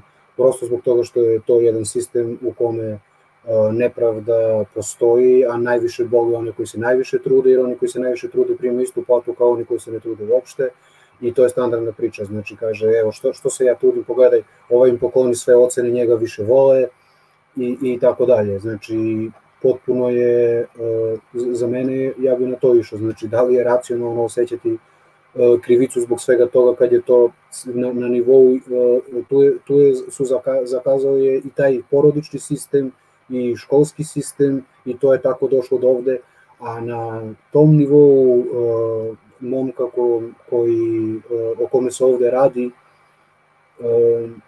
treba i moje mišljenje negde, ono što bi ja radio je ići u tom smeru da li uh, ne, op, aha, ovo se treba da dodam ponovo pošto se prekinuo. Ne, ovo prvi, moja, moja konekcija, da. Prvi put radimo, ja sad gledam gore, meni se video zove proba 2, znači to je verovatno isti link kao kad smo isprobavali. Znači, u tom smeru da li ako nekog već pogađa to što je na neki način različit, da li je zapravo, da li on želi da bude ravnopravan sa ostalima ili želi neke poseban tretman u smislu popuštanja. Taj poseban tretman u smislu popuštanja treba ići na to da se pita ako je to popuštanje, taj poseban tretman dolazi od toga što je on e, na neki način drugačiji od ostalih, na način na koji ovaj, se njemu ne dopada, kako se onda to zove? Da li je to onda sažaljenje i da li on želi da njega na taj način, da on doprinosi prosto tome na, taj način što je on taj koji traži drugačije uh, za sebe, drugačiji tretman. Da on ne bude kažnjen, da može da, da uznemirava uh, čas i ostalo. I sve ovo jako osetljivo, tako da praktični saveti su ovde pod znakom pitanja, ja ono, znači samo što, što mogu da kažem kao neko ko je eto malo radio i u, i u prosveti, a mnogo je u, u kontaktu sa prosvetnim radnicima, ovo su standardne situacije, taj osjećaj, ta težnja ka perfekcionizmu, zašto ja ne mogu da uradim sve ovo da, da bude onako kako sam zamislio, i, a mnogo sam se potrudio i zašto je sad ovo ne, nepravedno u smislu da evo ja se toliko trudim, a ne dobijam od strane deteta e, rezultate za taj svoj, svoj trud. Sve je to nešto što, što treba prosto se prihvati da je taj sistem takav. Znači, taj posao je takav da je, ne taj, svaki posao je takav da je određena doza nepravde njegov sastavni deo.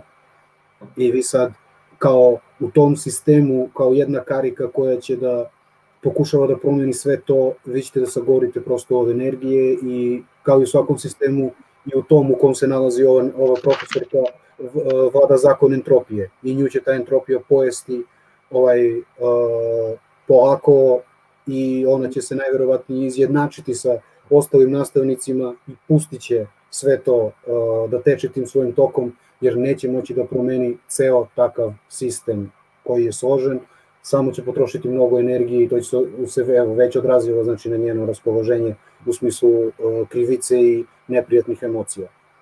Da, ali mislim da se svako u principu koja je radio u školi tako osjeća ili se osjeća u nekom trenutku, jer je to generalno slabo sistema, što ne postoji dovoljna podrška za učenike e, kojima je potrebno individualizovati program i pored toga ima i veliki broj đaka, tako da uopšte nije jednostavno. S druge strane, mislim da se ne radi dovoljno e, na tome da roditelji i nastavnici, znači roditelji škola zajednički deluju jer tada je najveći efekat. Znači, ako to ne postoji, ako roditelji kažu daju sve i dozvoljavaju uh, i uče tog momka da može kako god hoće, onda mislim da profesor ima vrlo, vrlo ograničen spektar dejstva, ali da opet treba da insistira na poštovanju pravila, ako nigde drugde, onda barem na tom njegovom ili to jest njenom času. Da još neko nešto da doda, evo 8 je sati ili da, da. se to da se odjavljujemo. Da, ja bih samo kratko da dam, bilo je ovo pitanje o tinejdžerima, nemamo šanse da ga sad odgovaram, ono što je možda važno, ovaj, da je e, naravno kapital za, za tinejdžersku dobu i adolescenciju, zapravo sve ono što je prije dobro išlo je ogroman kapital u adolescenciji, Ono što je dobro da je e, mozak neuroplastičan čak do sredine 20. godina, dakle da, da imamo još uvijek šanse da, da učimo ovaj, ponašanje emocije, izražavanje i da puno o tome piše e, autor Dan Siegel, jedna od njegovih najboljih knjiga za ovu dobu je Brainstorm ili Oluja mozga, dakle evo to preporučujem svakako onima koji rade uh, sa, sa ovaj, tinejdžerima i roditeljima i onima koji se njima bave zapravo, bavi se razvojem mozga i kako to utiče da, na ponašanje šta možemo praktično raditi u tom smislu. Ok, onda znači samo da se uh, zahvalimo na ovim pitanjima i na pažnji našoj publici, a ja da se zahvalim svojim koleginicama koje su bile divne i odlično pokrile ovo iz iz, sa, sa gledišta e, svoje, svoje terapijske orijentacije, stvarno svaka čast. Da. Hvala, meni je bilo ugodno i evo drago mi je zapravo da smo imali puno interakcije između nas, ali prije svega puno pitanja i nekako imam dojam, uvijek imam problem sa ovim online svijetom da što nisam u direktnom kontaktu s ljudima, ali evo imam dojam da, da, se, ovaj, da je bilo korisno, da su nas slušali, evo, da je, osjećam interakciju zapravo. Hvala.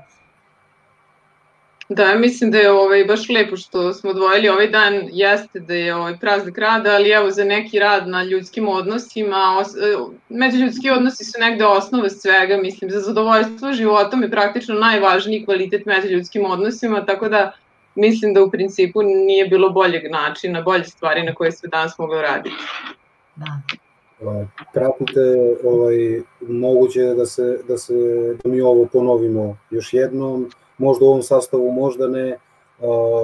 Izvinjavam se što, što nismo mogli da odgovorimo na baš sva pitanja, prosto vremenski okvir je takav. To je to. Svako dobro, pozdrav svima. Pozdrav. Pozdrav. Pozdrav.